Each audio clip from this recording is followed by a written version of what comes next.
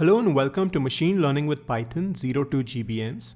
This is a beginner friendly online certification course being offered by Jovian. Today we are on the final lesson of this course, lesson 6, and the topic for today is unsupervised learning and recommendations. So let's get started. First, we'll go to the course page zerotogbms.com.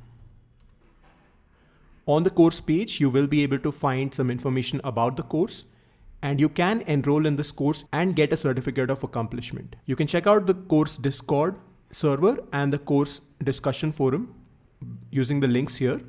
And you can find links to all the lessons and assignments that you need to complete to get a certification for this course. Let's scroll down to lesson 6 unsupervised learning and recommendations. On the lesson page, you will be able to find a recording of the lesson some information about the topics covered, and links to the discussion forum and the Discord server for this lesson. Now, let's scroll down to lesson notebooks. Here you'll find the Jupyter notebooks that we're going to use today. So we have a couple of Jupyter notebooks, one on unsupervised learning and another one on recommendations. So let's open up the unsupervised learning notebook. You can look at the notebook here, but we are going to run this notebook by clicking run and selecting run on binder. This will take the notebook and set up a Jupyter server for us on the cloud so that we can run the code and experiment with the material for this lesson. Now feel free to follow along or you can also just watch this video and then complete the notebook on your own after watching the video. All right, we now have a Jupyter notebook running in front of us. So the first thing I like to do on Jupyter is just click kernel restart and clear output so that all the stale outputs from the previous execution are removed and we can see the outputs fresh. And I'm also going to hide the header and toolbar and zoom in here a little bit. Okay, so the topic for today is unsupervised learning using scikit-learn. And specifically, we're going to talk about a couple of unsupervised learning techniques, clustering, which is taking some data points and identifying clusters from those data points. This is a visual representation here and dimensionality reduction, which is taking again a bunch of data points that exists in two, three, four, five, or any number of dimensions and reducing them to fewer dimensions.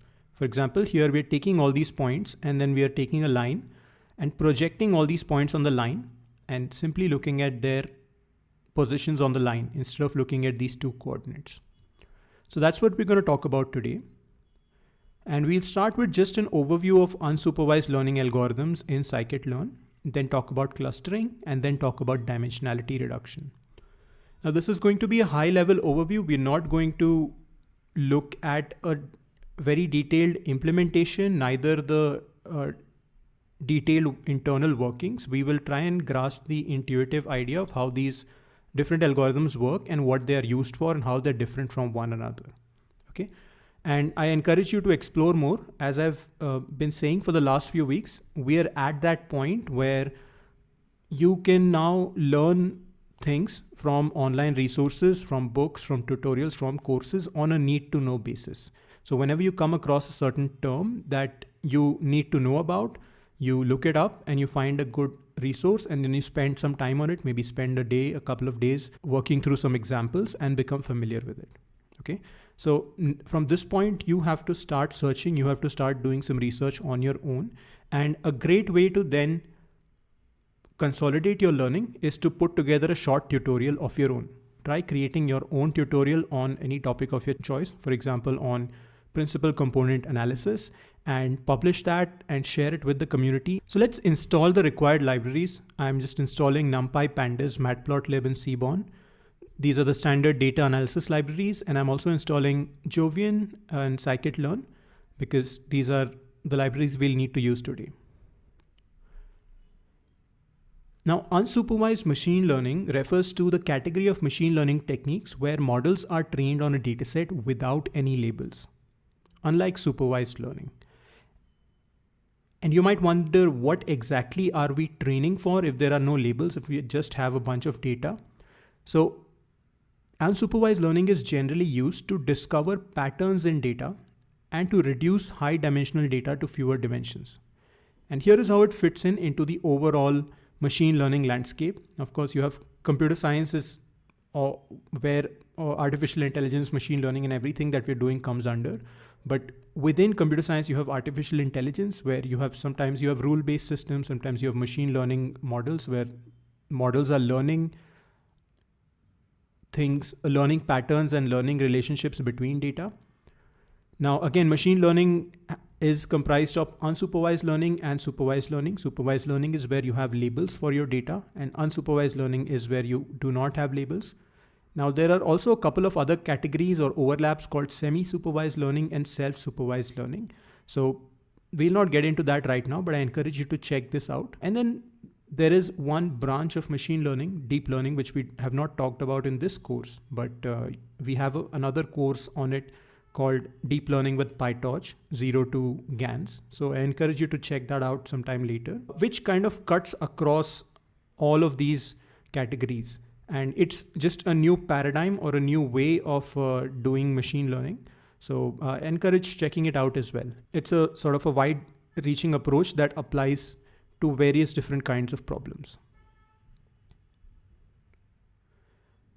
And here is what we are studying in this course. We are looking at classical machine learning algorithms as opposed to deep learning. And the reason we are doing that is because a lot of the data that we work with today is tabular data like 95% of the data that companies deal with is tabular data, Excel sheets, database tables, CSV files, etc. And the best known algorithms for tabular data at this point, especially algorithms that can be interpreted and controlled well, are classical machine learning algorithms. And we've looked at supervised learning algorithms already, things like uh, classification, where we've looked at, again, linear regression, uh, we've looked at logistic regression, we've looked at uh, decision tree classification, gradient boosting based classification, and regression, where we try to predict a number. So classification is where we divide observations into different classes and predict those classes for new observations. Regression is where we try to predict a continuous value. And today we're looking at unsupervised learning where there is no label for any data. And you either try and cluster the data, which is create similar stacks of data, or you try and reduce the dimensionality of reduce the dimensions of the data. Or sometimes you try and find associations between different data points and uh, use that for doing things like recommendations. And scikit-learn offers this cheat sheet for you to decide which model to pick for a given problem. Now, most of the time you will, if you've you done a little bit of machine learning, you will automatically know what models to pick. So this is a very simple or, or very obvious kind of a tree, but it's still good to see these are the four categories of algorithms available in scikit-learn. So if you are predicting a category and you have some labeled data, that is when you use classification. But on the other hand, if you're trying to predict a category and you do not have labeled data, that is when you use clustering, right? So that's one difference between classification and clustering. That's a common confusion. In clustering, there are no labels for us to look at. We just want to group whatever data points we have into different clusters. And of course, if you're predicting a quantity, you should be using regression. And if you're just looking at data, if you just want to visualize data or reduce its size, that's when you look at principal component analysis and uh, embedding and things like that. Okay. So let's talk about clustering. As I've said a couple of times already, clustering is the process of grouping objects from a data set such that the objects in the same group are more similar in some sense to each other than to those in other groups. So that's the definition, the Wikipedia definition for you. And scikit-learn offers several clustering algorithms. And in fact, it has an entire section on clustering algorithms that you should check out. So it talks a little bit about the different clustering methods. You can see there are more than 10 clustering methods. And it tells you about the use cases for different clustering methods. It tells you about the scalability, how well these methods scale to different kinds of uh, different sizes of data sets and different number of clusters and the parameters that they take. And all of these are fairly different in how they are implemented, but the goal is uh, ultimately the same. The goal is to take some data. For example, here, let's say we just had a bunch of points here where uh, here this example plots incomes and debts. So this is a scatter plot between incomes of various people and the amount of debt that they have at the moment. So each point represents one person. So these people are people who have high income but low debt. And these people are people who have low income and low debt. And these people are people who have low income and very high debt. Right. So clearly there are three clusters of people here. And typically these clusters don't come predefined. So you would simply have income and debt information. And what you might want to do is identify which cluster a particular person belongs to, or even figure out what the clusters should look like. So that's what clustering is, and that's what we'll try and do today. Given all these points, we will try and figure out what how many clusters there are in the data and which clusters do each of the points belong to and potentially if there is a new data point that comes in which cluster will that data point belong to okay so that's what we'll talk about now, why are we interested in clustering in the first place? Here are some real world applications of clustering. One is, of course, customer segmentation. Now, suppose you are an insurance company and you're looking at, or, or you're a bank and you're looking at applications for loans, then this kind of a cluster analysis is something that you may want to do. Just plot incomes and debt and see where the person lies, which cluster they lie in. And you may have a different set of operating rules for high income low debt people low income low debt and high, high, low income high debt people and then you may just want to just to simplify decision making instead of each time having to look at both variables you can simply feed the variables into a computer algorithm get back a category for them and use that category to make decisions for them right? So often the classes in several classification problems are obtained in the first place through clustering processes, uh, especially when you're looking at things like low risk, medium risk, high risk, etc. Then product recommendation is another uh, important application of clustering where if you can identify clusters of people who like a particular product, then you can recommend that same product to people who have similar behaviors.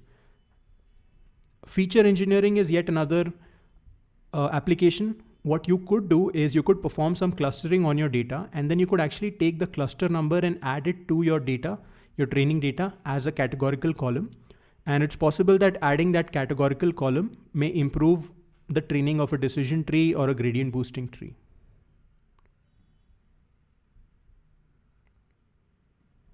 Then you have anomaly or fraud detection. Now, of course, if you have, if, if you plot again, let's say you have a bunch of credit card transactions and then you cluster credit card transactions, you will notice that fraudulent transactions stand out. Maybe there are certain credit cards that make a lot of transactions.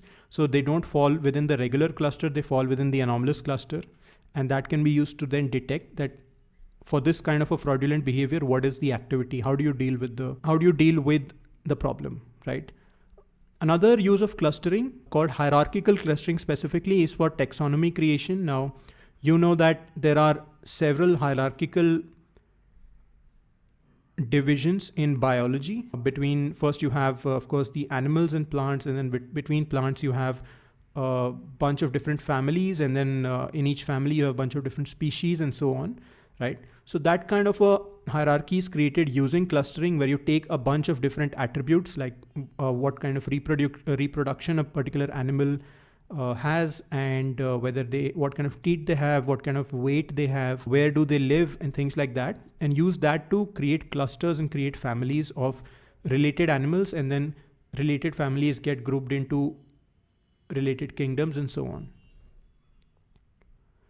so those are some applications of clustering.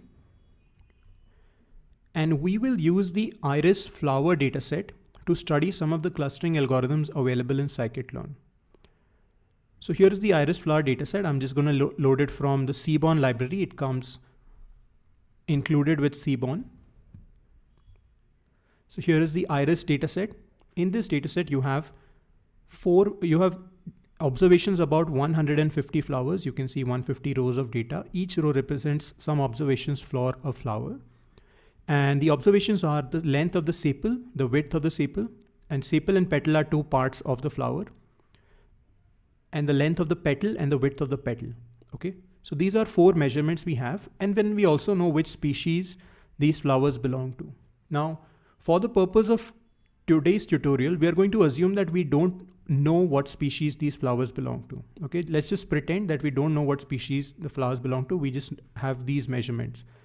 Now, what we'll try and do is we will try and apply clustering techniques to group all of these flowers into different clusters and see if those clusters which our clustering algorithms have picked out just by looking at these four observations match these species or not. Okay, so we're not going to use species at all. Uh, we are going to treat this data as unlabeled. So here's what the data looks like.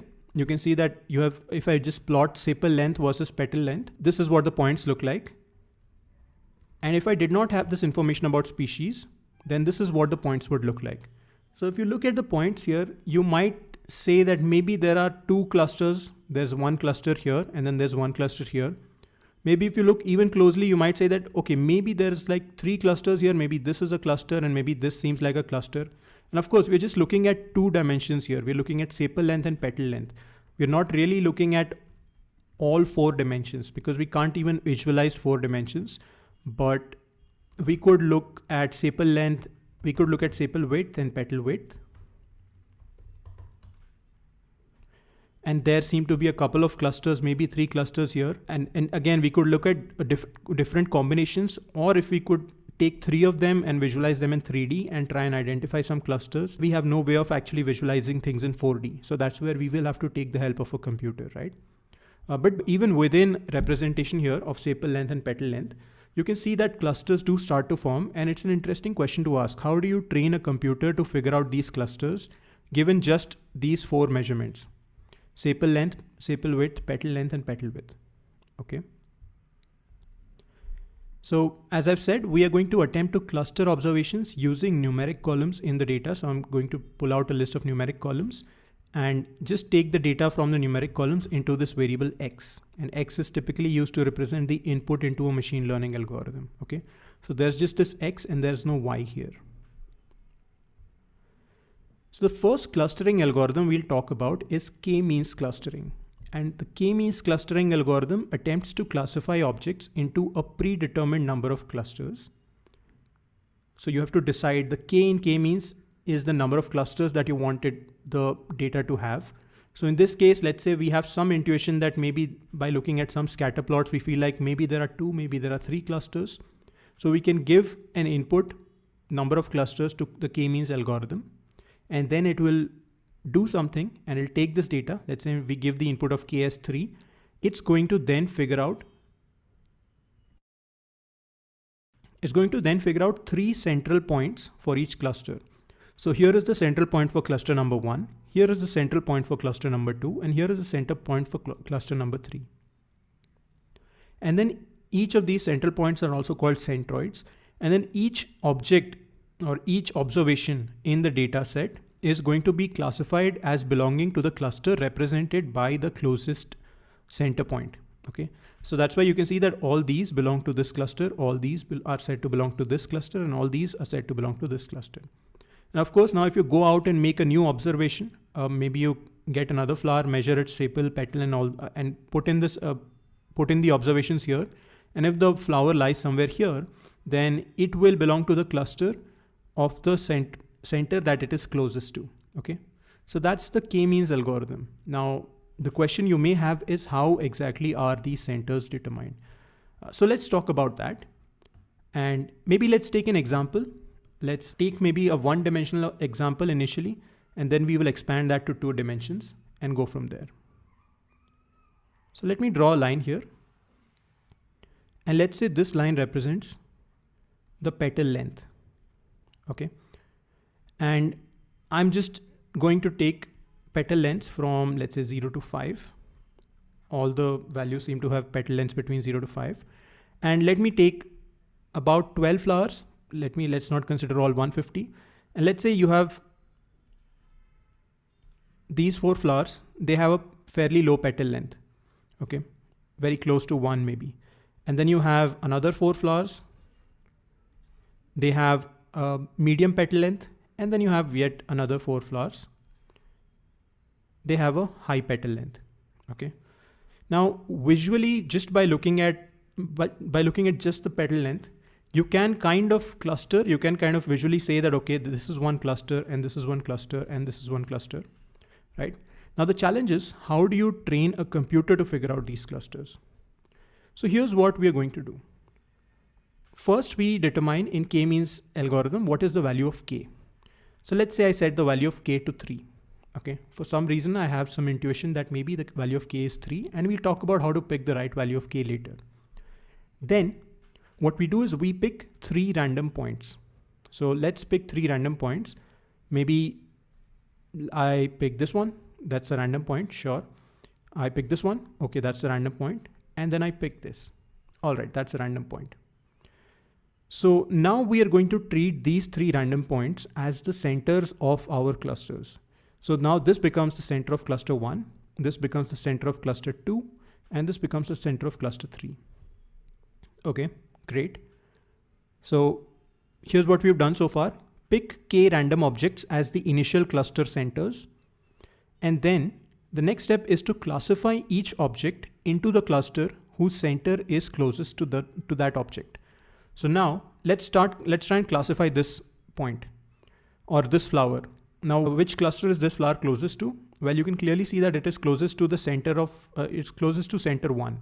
So this becomes one and then check the next one. And this is also closest to one. So this also gets assigned the, uh, the cluster one. And this also gets assigned the cluster one. This also gets assigned the cluster one. I would say that even this is closer to one than two. So this also gets assigned the cluster, cluster one. And of course, this point is already in cluster one. Then you have this one, cluster two. And this also, this gets assigned cluster two. This one I would say is closer to three. So this gets assigned to cluster three and this is cluster three and this is cluster three as well. Okay. Okay, so now we have a clustering, but definitely this clustering is not that great. You can clearly see that these two should rather belong to the class two. So here is where we do the next interesting thing. Once we have determined the cluster, so this is cluster one, and then this is cluster two, and then this is cluster 3. We then, for each cluster of classified objects, compute the centroid or simply the mean. The centroid is nothing but the mean. Right now we're looking at one dimension, so that the centroid is simply the mean. And we'll talk about two dimensions. But here's what we do then. We basically take all these values. So this is like, this is about uh, 0.7, this is about 1, this is about 1.2, etc., etc. And then we take their average. So if you take the average of all these values, and let me draw another line here. So if we take the average of all these values, the average of all these values would be somewhere around here, right? And then we take the average of all these values in the cluster two, and that would be somewhere around here. And then we take the average of all these values, and that would be somewhere around here. Now here's the interesting thing. Once we've taken the averages, we make these the new centers of the cluster. So this becomes the center for cluster one. This becomes the center for cluster two. This becomes the center for cluster three. Okay. And now you can see things are already starting to look better. Let's just put back these points here. Okay. So now what, what we've done is we have taken each cluster that we created using randomly picked points and we took the averages of those clusters and said these are the new cluster centers. Now using these new cluster centers, we reclassify the points. Okay, so that's what we're doing. We are now going to reclassify each object using the centroids as the cluster centers. So now this point is given uh, the class one, this point goes to class one and this point goes to class one. This point goes to class 1, 2. Now this point goes to class 2, class 2, class 2, and class 2. And you have class 3, class 3, class 3, and class 3. Okay.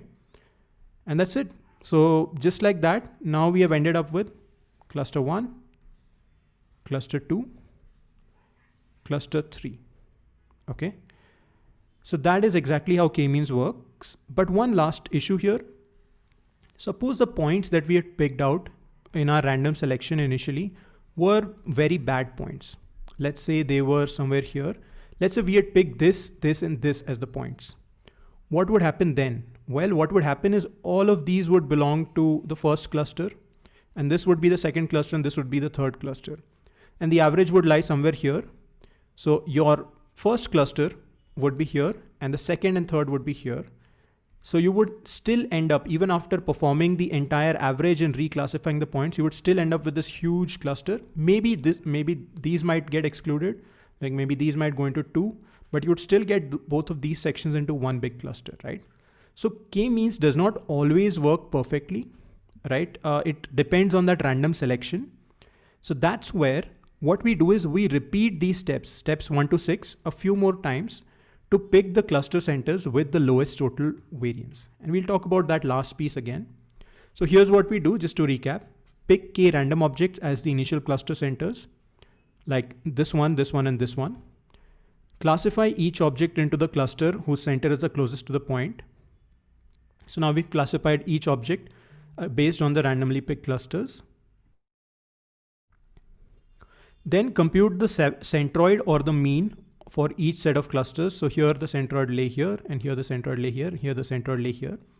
Then use the centroids as the new cluster centers and reclassify all the points. Okay. Then, so you do that and you keep track of those centroids and then you do the whole process again. K random objects, classify, compute the centroid, reclassify, keep that option around and keep doing that over and over and over multiple times. And let's say you do it about 10 times or 20 times. And out of the 20, you simply pick the one where you got the best lowest total variance. So what do we mean by the total variance? Well, here's how you can compare two sets of clusters, right? So, and I'm not going to draw the points anymore, but let's say you have one set of clusters that looks like this and you have one set of clusters again through k-means that looks like this. Okay. So what you do is you compute the variance. Now you have a bunch of points in this cluster, right?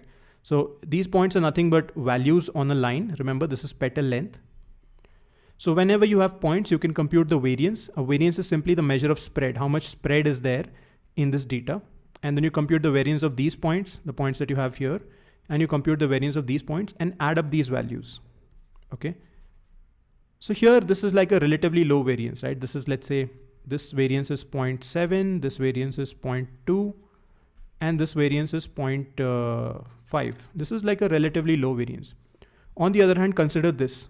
The variance here is pretty high. So the variance here is like 2.1, and the variance here is uh, about 0.4. The variance here is about 0.1, let's say, right? So the total variance here in this case is about 2.6 and the total variance here 0.7 plus 0.2 plus 0.5 is going to be about 1.4. Okay. Uh, and the variance is simply the square of the standard deviation if you remember from basic statistics, right? So what do we mean when we have a low total variance? When we have a low total variance, what we are uh, essentially expressing is that all the points in every cluster are very close together. And when we have a high total variance, what we are expressing there is that there are points in certain clusters that are very far away from each other. So as we try all of these random experiments, we simply pick the cluster centers which minimize the total variance. And with enough random experiments, you can almost be sure that you will get to a point which is very close to the optimal solution. Okay, you may not get the best possible division, and sometimes even when you run k-means multiple times, you may get different cluster divisions depending on the kind of data. But once you run it enough time, you will get to a pretty good place. Uh, and that's basically the that's basically how k-means algorithm works. Now, of course, how does this apply to two-dimensional data? Exactly the same way. Now, let's say you have petal length and you have petal width. So you're lo looking at both of these and you have a couple of flowers here and then you have some flowers here and then you have some flowers here. Okay. So what do you do? You pick three random points. Let's say you, you have set k equals three. So you pick three random points. Uh, maybe let me pick that. Using those three random points, you set them as the cluster centers. And once you set them as the cluster centers, you get, you label all the other points, one, one, one, and then all these I think are also close to 1 and then yeah and then these are close to 2 and this one is close to 3 or something like that. Then what do you do? You take all these points and then you take the centroid. So when you take the centroid the centroid ends up here. And then when you take the centroid of these two the centroid ends up uh, here and you take the centroid of these two the centroid ends up here now once you get the centroid you once again then do the classification so now when you do computations against the centroid, some of the cluster, some of the clusters may change. This is probably not a great example, but maybe let's say you got a centroid here and you got a centroid here. So what will then happen is all of these will now fall into a different cluster and all of these will go, fall into a different cluster and all of these will fall into a different cluster. Okay. So the exact same process, k random objects, classify, compute the centroid. And what is the centroid? Well, you take all the x values of the points in this cluster and take their mean. You take all the y values of the points in the cluster and take their mean. So centroid is simply a dimension wise mean uh, that you take. Okay. And you then you do this multiple times using random initial cluster centers and you pick simply the centers with the lowest total variance to get the measure of uh, and use that as a measure of goodness. Okay. So that's how k-means works. And here is how you actually perform k-means clustering. You don't have to write code for any of that. All you do is you import k-means from sklearn.cluster. And then here you simply uh, initialize k-means. You give it n clusters, the number of clusters you want to create. And then you give it a random state. You don't have to give this. Uh, this is just to ensure that each time the randomization is initialized in the exact same way. And you call model.fit. You call model.fit and you just give it the X. And remember the X simply contains the numeric data. There is no target given here. And once the model is fitted, you can actually check the cluster centers. So now remember this is clustering not on one dimension, not on two dimensions, but on four different dimensions. And the algorithm is exactly the same. It's just that the number of dimensions has increased. So what the model has found is that the cluster centers are as follows. For cluster 1, the center is at a sepal length of 5.9 and the sepal width of uh, 2.7 and a petal length of 4.3 and petal width of 4 point, uh, of 1.4. And this is the second cluster similarly, and this is the third cluster. Now, we, when we want to classify points using the model, this is what we do. We check the distance 5.1 to 5.9, okay, that's about 0.8. We check the distance of 3.5 to 2.7, that's about 0.7. We check the difference of 1.4 to 4.3, okay, that's a lot. That's a that's about um, 3 point, uh, that's about 2.9. And we check the distance 0.2 to 1.4, okay. So we see how far away each of these values are from the original values. So we are, we are basically going to subtract the cluster center from the actual values. And then we add up the squares of those differences. Okay. And basically what that means is if you have a cluster center here, let's say this is a cluster center and this is a point. Okay. Now the cluster center is going to look something like this, xy in two dimensions. And the point is going to look like this, xy in two dimensions. So let me call that x1, y1 and x2, y2 what we do is we compute x1 minus x2 squared plus y1 minus y2 squared and we take the square root of that okay so what is that exactly well that is nothing but the actual distance between the two points in the two dimensions because if you just see this triangle over here, this right angle triangle, this part of the triangle, this edge of the triangle is simply x2 minus x1, this length. And then this length over here is simply y2 minus y1. So this distance over here, by the Pythagoras theorem, it is root over the sum of squares of these two sides. So this is actually the distance d between the two points, right? So we check for each point its distance from the cluster center, from each cluster center. So we compute for this point the distance from this cluster center, the distance from this cluster center, the distance from this cluster center, and the distance this, from this cluster center. And we find that this cl cluster center is the closest. So this is the cluster that it gets assigned to. Okay. Uh, so don't worry about the math. The basic idea is each point is going to get assigned to the cluster that it is the closest to. And that closeness is determined using this. Sometimes it's called the L2 norm. Sometimes it's called the Euclidean distance.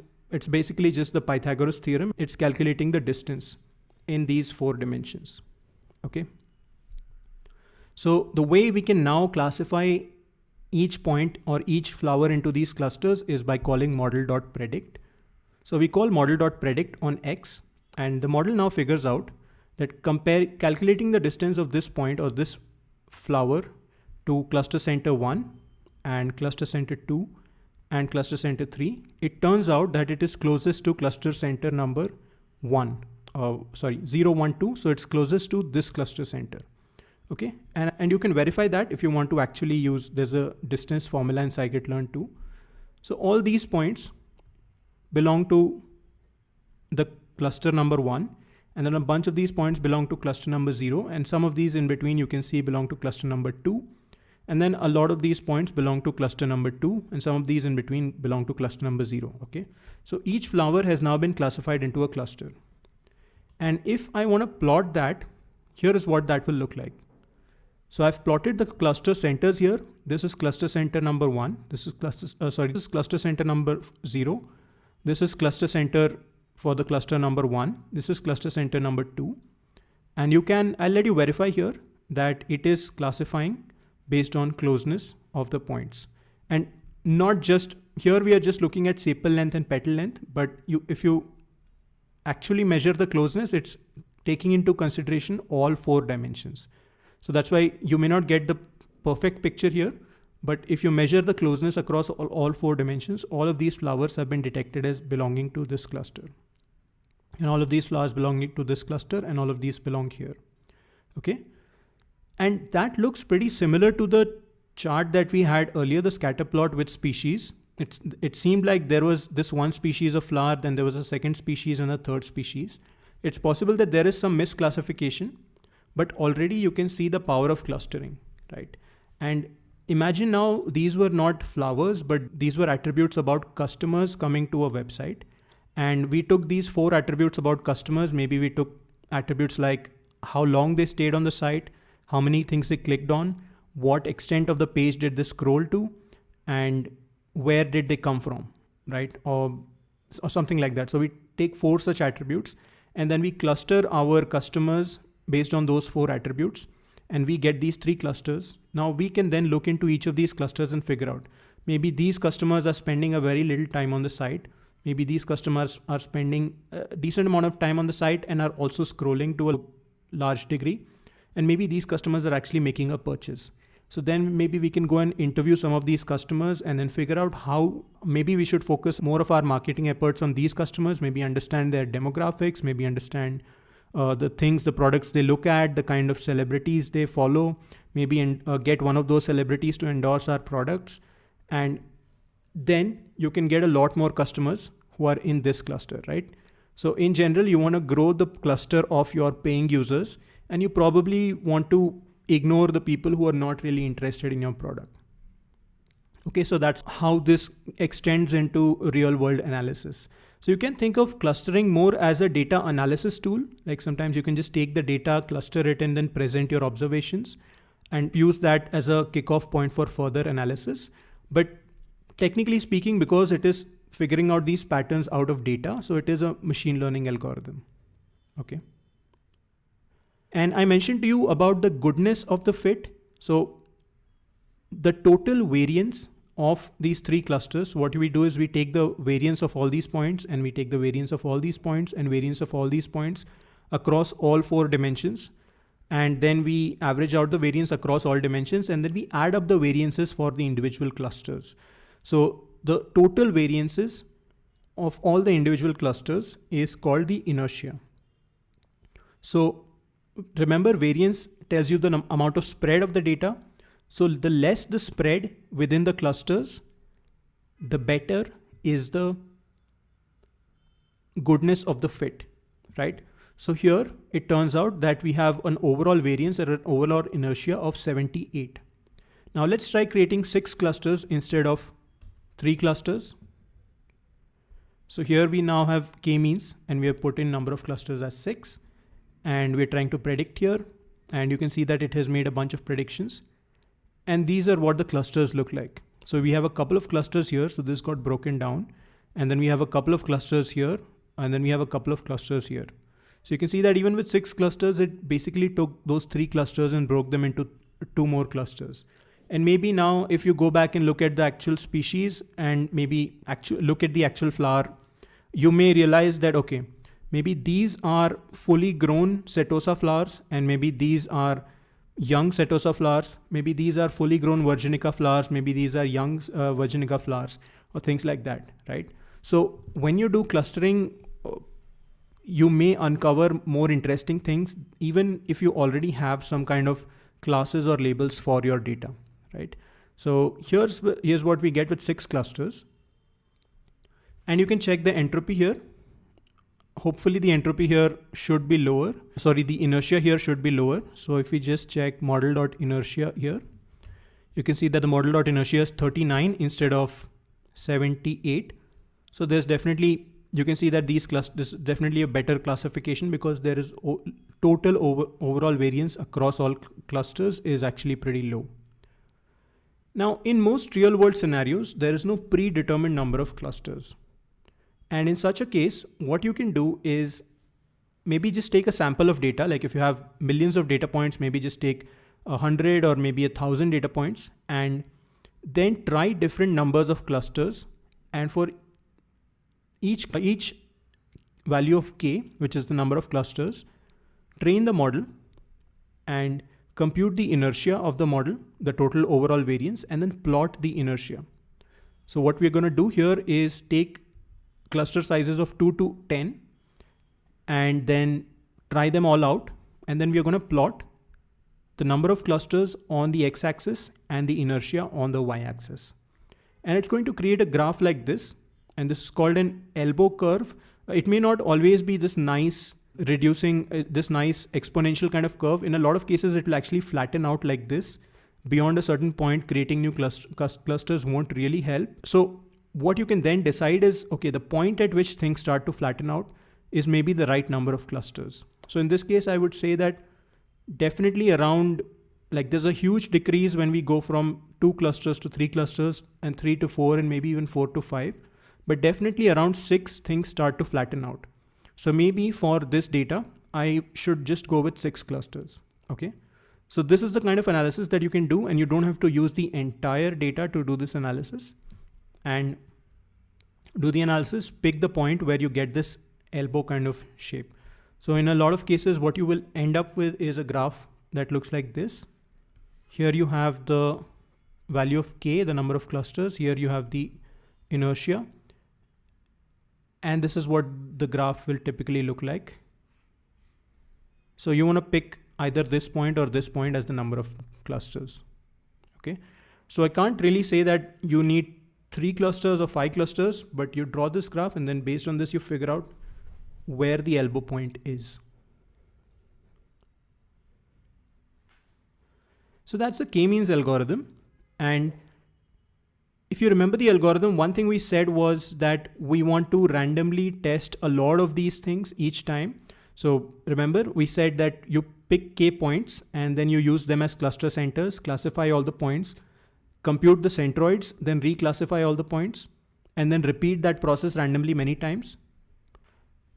That may not be a good idea because uh, if you are working with a really large data set, because it can get really, really slow.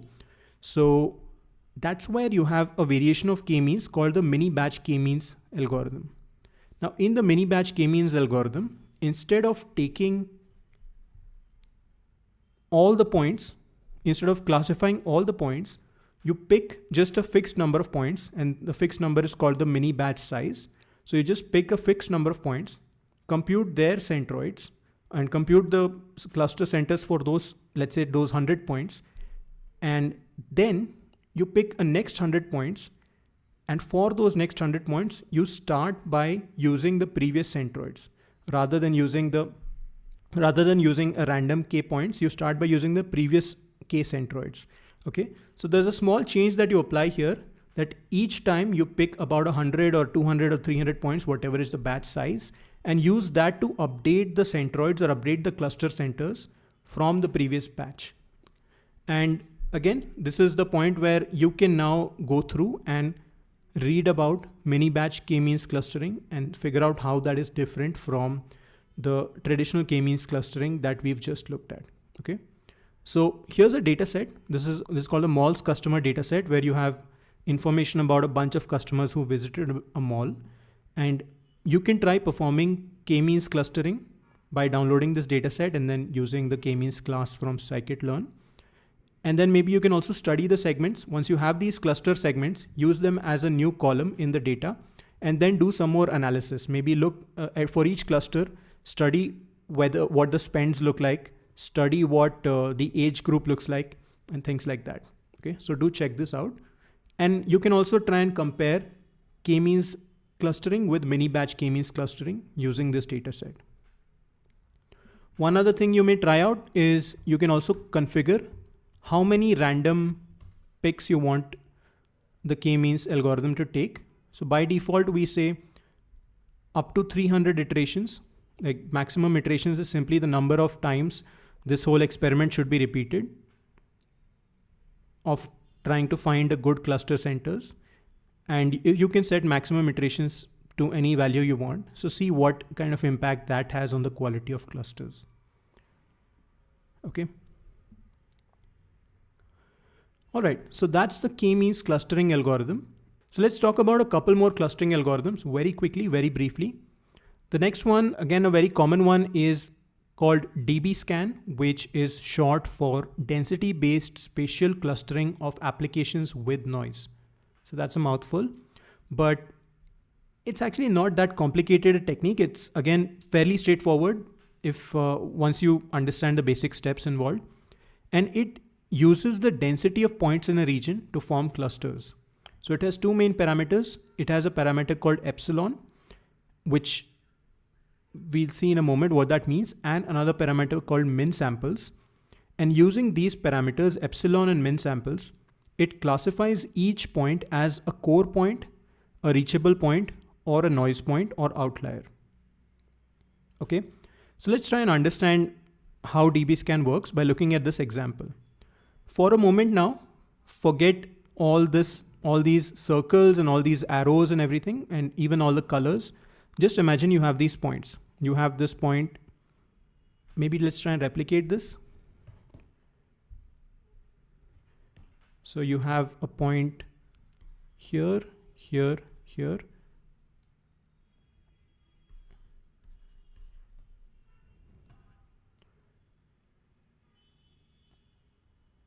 Okay, not really.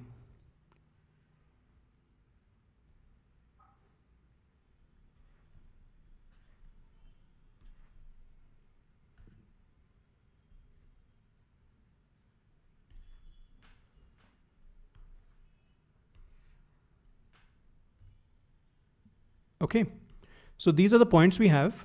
And here is how here is how dbSCAN works. First, you set an epsilon let's say we send, we, and of course, all of this is on a coordinate plane. Let's say we are still talking about petal length and petal width in two dimensions. Let's say we set epsilon to 0.5 and let's say we set min samples to 4. Okay. Now look at this point. This point is, uh, let's just consider this point and you can start at any point. Take this point and around this point, draw a circle with the radius epsilon. So let me just, I think this would be about 0.5. So let me just draw the circle here with the radius epsilon. Okay. So we draw a circle with the radius epsilon around the point.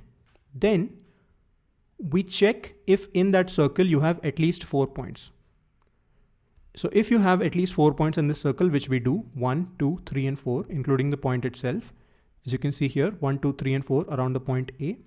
So if you have at least 4 points, then we say that this is a core point. So this is a core point. So let me just put it in dark. All the core points, I'm going to make them dark. So now we've classified a core point and then everything else that is connected to the core point is now part of the same cluster. Okay, so these three points are part of the same cluster. Then let's go to this point and across this point, let's also draw the circle of size epsilon. And this is what it looks like. And now once again, you have one, two, three, and four. So then this point is also a core point. Okay. So this point is a core point and then this point is within 0.5 of the core point. So this is now, this point now belongs to the same cluster. Then let's do this one. Again, if you draw a circle around this one, you will notice that four points lie here. So this is also a core point. So these are all part of the same cluster. And uh, then this one also turns out to be a core point. You can verify it will have four points around it and this will be connected to this. And uh, this will also be a core point. It will have all these inside this will also be core point. So this like this, you continue creating, uh, connecting core points. And there will be some points now which will not be core like this point right here. This is not a core point. This is a point which is connected to a core point. It is, it lies within the circle of a core point, but it by itself, like if I just draw the circle around this point, it does not contain the min sample values. So this is called an edge point. Yeah. So this is called sorry, this is called a reachable point. So this is kind of the edge of the cluster, right? This is not a core point. This is not connected to three other points in that circle, but it is still part of an existing cluster. And similarly, this one as well, like if you draw the circle around this, the circle would look something like this. So this is not a core point, but this is still a connected edge point. So this way, we have now identified this one cluster of points. Okay and we're done with all these. And let's say there is another cluster of points here where you have like these four core points. This is all connected to each other. And then these are connected to this. So you have two edge points here in this cluster as well. And then you have four core points in this cluster. So this becomes another cluster right here.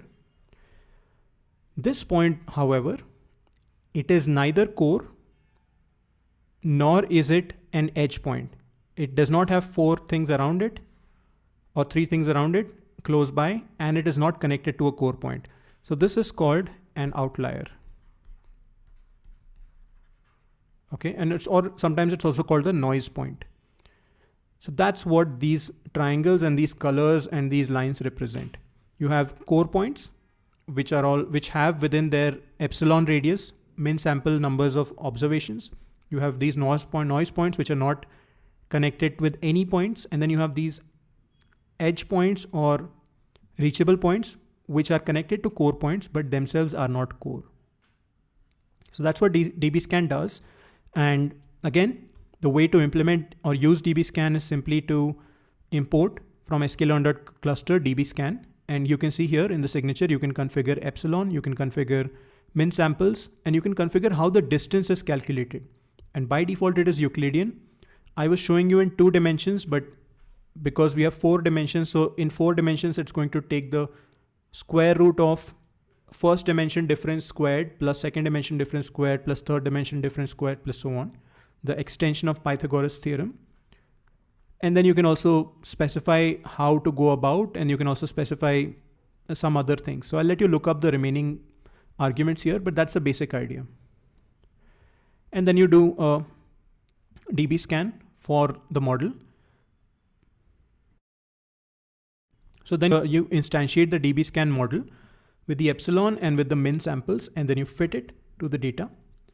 Now, here's one thing in dbscan, there is no prediction step because remember the, the definition of a core point depends on certain points being there in the data set. So in k-means, you try and figure out the center of a cluster, but in dbscan, there is no center of a cluster. The cluster is defined by the connections between points.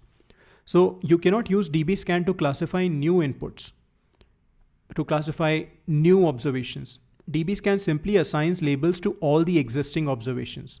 So you can just check model.labels and it will automatically just tell you that for the inputs that were given, when we perform the dbscan algorithm on all of them, because all of them need to be considered to perform the uh, dbscan algorithm, the dbscan uh, clustering.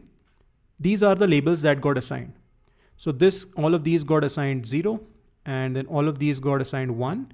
And then you can also check which ones are core points and which ones are reachable points and which ones are noise points. A good way to check all the attributes on all the properties that you have on a particular model, all the methods you have is by using DIR. So yeah, I think you have these core sample indices. So this will tell you the core sample indices.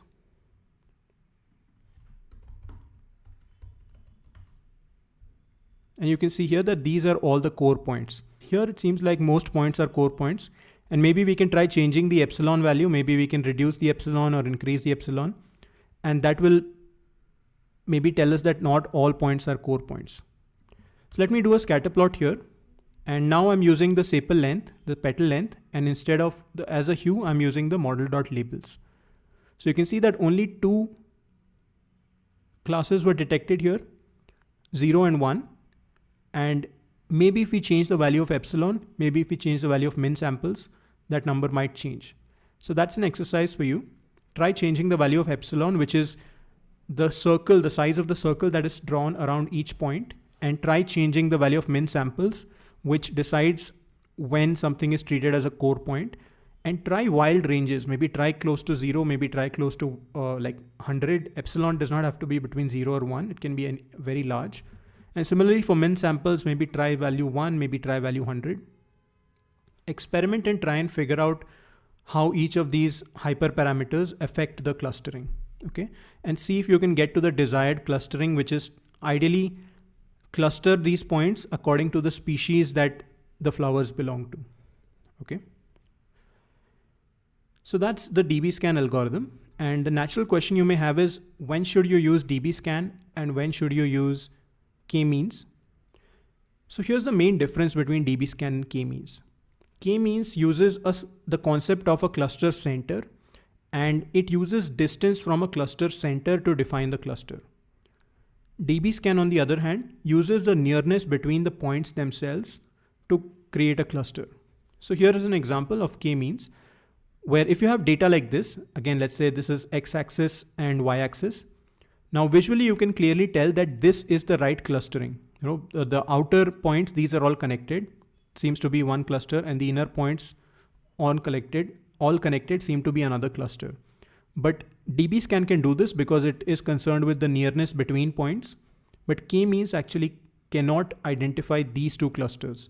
Because if you set this as a cluster center, then any cluster that includes this point would also need to include all of these points because these points are closer to this center than this point, right? So there's no way you can create a cluster using k-means of these of these outer rings. On the other hand, uh, this is what k-means clustering would look like. Maybe you'll end up with one centroid here and one centroid here. So half the points will go here and half the points will go here. Here is another example. You have these two horseshoe shapes and this again dbScan is able to detect them, but k-means is not on the other and then there are a few more examples for you to check out. Now, one other thing about dbScan and k-means is that in k-means you can specify how many clusters you want, but in dbScan, it will figure out on its own and you can only change the values of epsilon and min samples to maybe try and indirectly affect the number of clusters that get created. So that's the dbScan algorithm. So just keep in mind whenever you want to detect these patterns which are more concerned with the nearness of the points themselves, dbScan may make more sense. But if you want a distance based clustering technique, then you use k-means. One more thing is uh, you can classify new points into clusters using k-means, but you cannot use dbScan to classify new points. You would have to run the entire scan again because it's possible that by the introduction of a new point, two clusters may join together or uh, change in some fashion.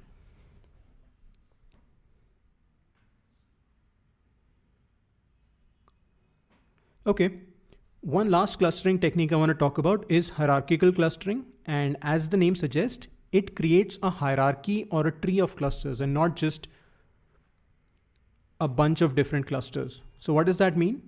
That means that as you can see in this, as you can see here in this uh, animation, we have a bunch of points and first we take the two closest points and we combine those two closest points into a cluster. Then we say we combine the next two closest points, which in this case turns out to be cluster the cluster point and then another point and combine this, combine them. And then in this way, we create this tree of clusters. So at the bottom of the tree are these individual points and above you have these cluster of two points and sometimes above these you have clusters of three or four points and above these you have clusters of cluster of cluster of points and things like that. And this is the kind of thing that can typically be used to generate a taxonomy, for example. Like if you have observations about many different types of animals, you have a bunch of observations and you start performing clustering, you may realize that there are very close relationships between humans and chimpanzees. And then between humans, chimpanzees and bonobos, there is another relationship. So that is what is captured by this point. And then of course, between um, these, between this family and between, let's say mammals, there is a relationship that is captured by this. And then here on the other hand, you have a relationship between plants. And finally, at the top, you have a single cluster. Okay. And this is how hierarchical clustering works. You first mark each point in the dataset as a cluster by itself, like all of these points P0 to P5 are clusters in the dataset. Then you pick the two closest cluster centers, like here you can see, you pick the two closest ones and treat them as a single cluster. You pick the two closest cluster centers without a parent and combine them into a new cluster. Now the new cluster is the parent cluster of the two clusters and its center is the mean of all the points in the cluster. Then you repeat the step two, which is you pick the two closest cluster centers in the dataset without a parent. So this time you could be combining a cluster center from a cluster and a leaf, and that could then become their parent cluster. And then you pick the two closest and you keep picking the closest cluster centers each time that do not already have a parent and that's how you get to the top level okay and this structure that you end up with is often called a dendrogram so yeah that's what this will look like and these are all the cluster centers here now for each type of clustering I've also included a video that you can watch for a detailed visual explanation if you're willing to just get deeper and maybe follow along on your own and scikit-learn allows you to implement hierarchical clustering so you can try and implement it for the iris dataset. So I'll let you figure it out. Okay. So we've looked at three types of clustering now. We have looked at k-means clustering, we have looked at dbSCAN, and then we've looked at hierarchical clustering. There are several other clustering algorithms in scikit-learn, so you can check them out too. Here you have uh, about 10 or so clustering algorithms, so you can check out all of them. Okay. So with that, we will close our discussion on clustering. By no means exhaustive, but I hope you've gotten a sense of what clustering is, how couple of useful, uh, how couple of common clustering algorithms work and how to use them. There is a question, can k-means be used for clustering geolocations? Yes, absolutely. If you have a bunch of geolocations and you want to cluster them, simply use the latitude, the longitude as the two columns of data and put them into k-means and give it the number of clusters and you can find a bunch of clusters of geolocations. Yep, it's a great idea. And then one thing you could also do is you could take, you could plot those points then on a map and color them according to the cluster and also show the center of the cluster on the map.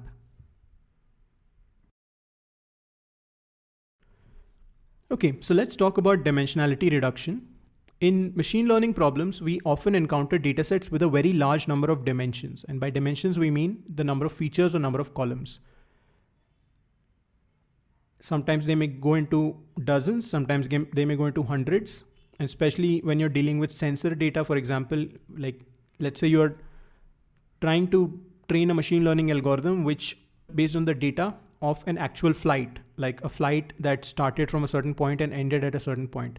Now flights have hundreds of sensors or sometimes thousands of sensors, like same kinds of sensors at every step uh, at different places on the flight. And if you look, if you just collect the information from all of these sensors, you will end up with thousands of columns.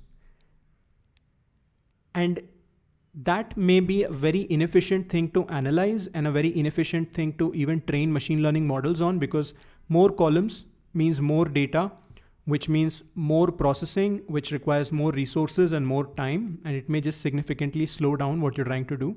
So one thing we typically have learned in the past is to just pick a few useful columns and throw away the rest of the columns so that we can quickly train a model.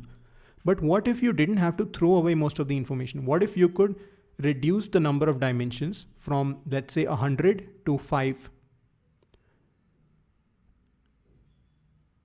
without losing a lot of information. What if you could do that? And that is what dimensionality reduction and manifold learning are all about. So what are the applications of dimensionality reduction? Reducing the size of data without the loss of information. So let's say you have a certain data set here, which has, let's say 200 columns. Okay. What if you could reduce those 200 columns of data to just five columns without losing information, as much information, right? What if it, this could still retain 95% of the information? And we'll talk about what we are saying, what we mean by information retention. But what if you could do that? Then, then you can clearly see already that this anything that you do on this model or, or on this data set is going to be 40 times faster. So are you willing to trade maybe 5% of the information for 40 times the speed? Probably yes, right? So that's one reason to do dimensionality reduction. And that will then allow you to train machine learning models efficiently. But yet another very important application of dimensionality reduction is visualizing high dimensional data in two or three dimensions. Now, of course, as humans, we can only visualize in three dimensions, but even three dimensions can get a little bit tricky. Like 3D scatter plots are very hard to read. So we are really the most comfortable, at least right now, while looking at screens, we are most comfortable looking at data in two dimensions. So even right now with the iris dataset, we've seen the problem that we have four dimensions, but we can only really visualize two dimensions at a time, right? So visualizing high dimensional data in two to three dimensions is also an application of dimensionality reduction. So let's talk about, let's talk about, let's talk about a couple of techniques for dimensionality reduction. The first one is principal component analysis. Principal component analysis is a dimensionality reduction technique that uses linear projections, and we talk about what linear projections mean, of data to reduce dimensions while still attempting to maximize the variance of the data in the projection. So that's what this is about. It's about projecting data and this is what PCA looks like while still maintaining as much of the variance as possible. So let's say you have this data, let's say X1 represents petal length and X2 represents petal width. And then you have all these points, ignore the line for a moment. Now, instead of having X1 and X2, if we could simply draw this line and if we could just draw this line and then uh, maybe at, on this line we could set this as the zero point and then we could simply draw these project these points onto the line. So just see how far away they are from the zero point. Let's say we set this as a zero point and then we simply give this point the value minus 1 this point would be minus 1.8 this point would be minus 2 this point would be minus 2.7 and this point would be maybe 0.1 this would be 0.3, this would be 1, this would be 2, this would be 2.3, 2.4. Okay, so now we have gone from taking this data in two dimensions to this data in one dimension. Okay, so how do we do that? Let's take a look. So let's say we have some data. Uh, let me look at petal length and petal width. Just two dimensions right now. So we have 0 0.1, 0 0.2, 0 0.3, 0.4 uh, and so on. And for each one, we have some petal length, petal width, petal length, petal width, petal length, petal width, and so on. Now we take that and we plot it here. So we plot these points here. Maybe it looks a bit like this.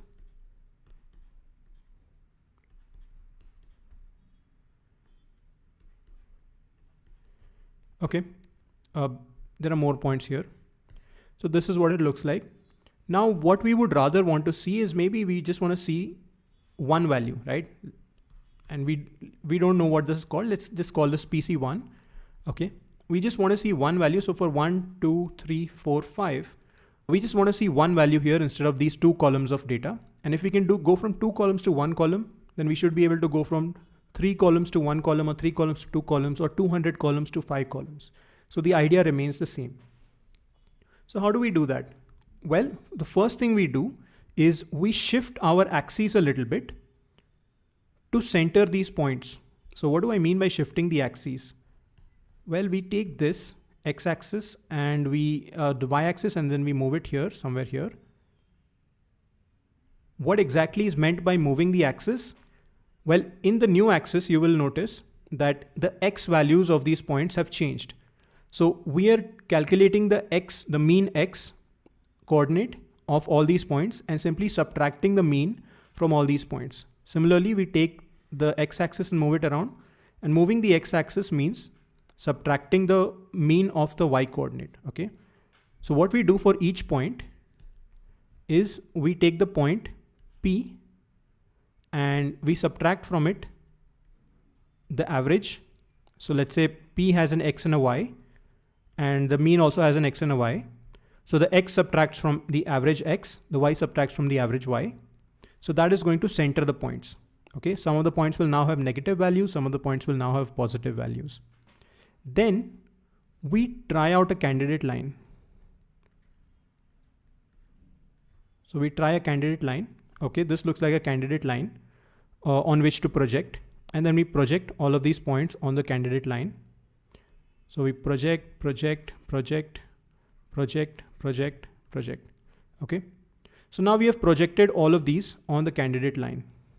Now, once we've projected things on the candidate line, let me for a moment just get rid of the X and Y coordinates. Now that we know that they're centered, let me just move them away. Yeah, so now that we have all these projections and we know that this is the zero point, we can see that, okay, this is the, this point can now be represented by this point, it's perpendicular. And this point can now be represented by this point. And this point can now be represented by this point. So for each one, if this is zero and this is one and this is two and this is three on this new line, we can now represent each point using a single number, which is its the distance of its projection from the zero point on this projected line. Okay, so we can now start filling in these values. So the distance of point one, distance of point two, distance of point 0.3 and distance of point 0.4. So we start filling in these values. Okay. All right. So now we already have this. We have now already reduced from two coordinates to one coordinate, but we want it to retain as much of the information or as much of the variety from these two coordinates as possible. So this is where what we try and do is we try and maximize d1 square plus d2 square plus d3 square plus so on. Okay.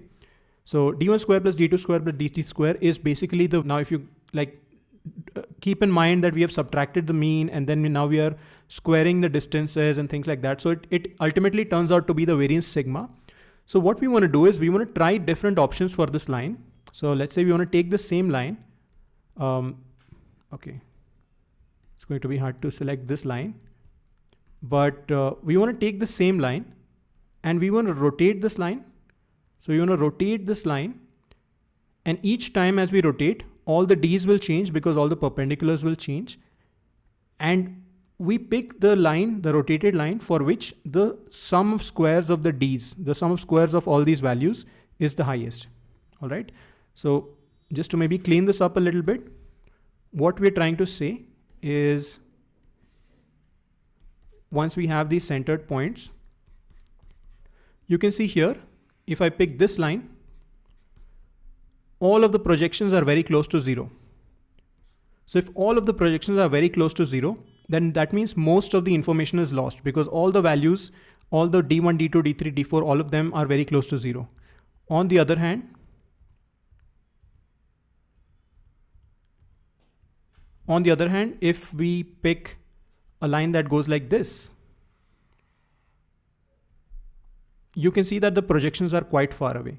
So we are capturing the spread of the data very nicely for a nice fitting line. And we are not capturing the spread of the data very nicely for a ill fitting line. So that's what PCA tries and figures out. Okay. So it figures out one, and this is from going from two dimensions to one dimension. Here is an example of going from three dimensions to two dimensions. So now here we have feature one, feature two, feature three. Ignore the word gene here. And then you have points. So what we try and do is we first find PC1, we find a line along which we can project all the points, the best possible line which maintains the highest variance. Then PC2 is a line which is perpendicular to the first line. Now remember we're in three dimensions here. So there are an, infinite number of lines that are perpendicular to the first line PC1. So again, we pick the line which maximizes the variance of the points when the points are projected on PC2. So for three dimensions, you can have PC1, PC2. And then when you go to four dimensions, you can have PC1, PC2, PC3.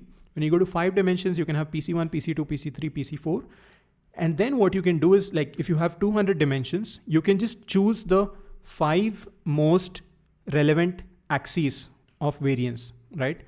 And remember each of these are highest variance preserving possible lines.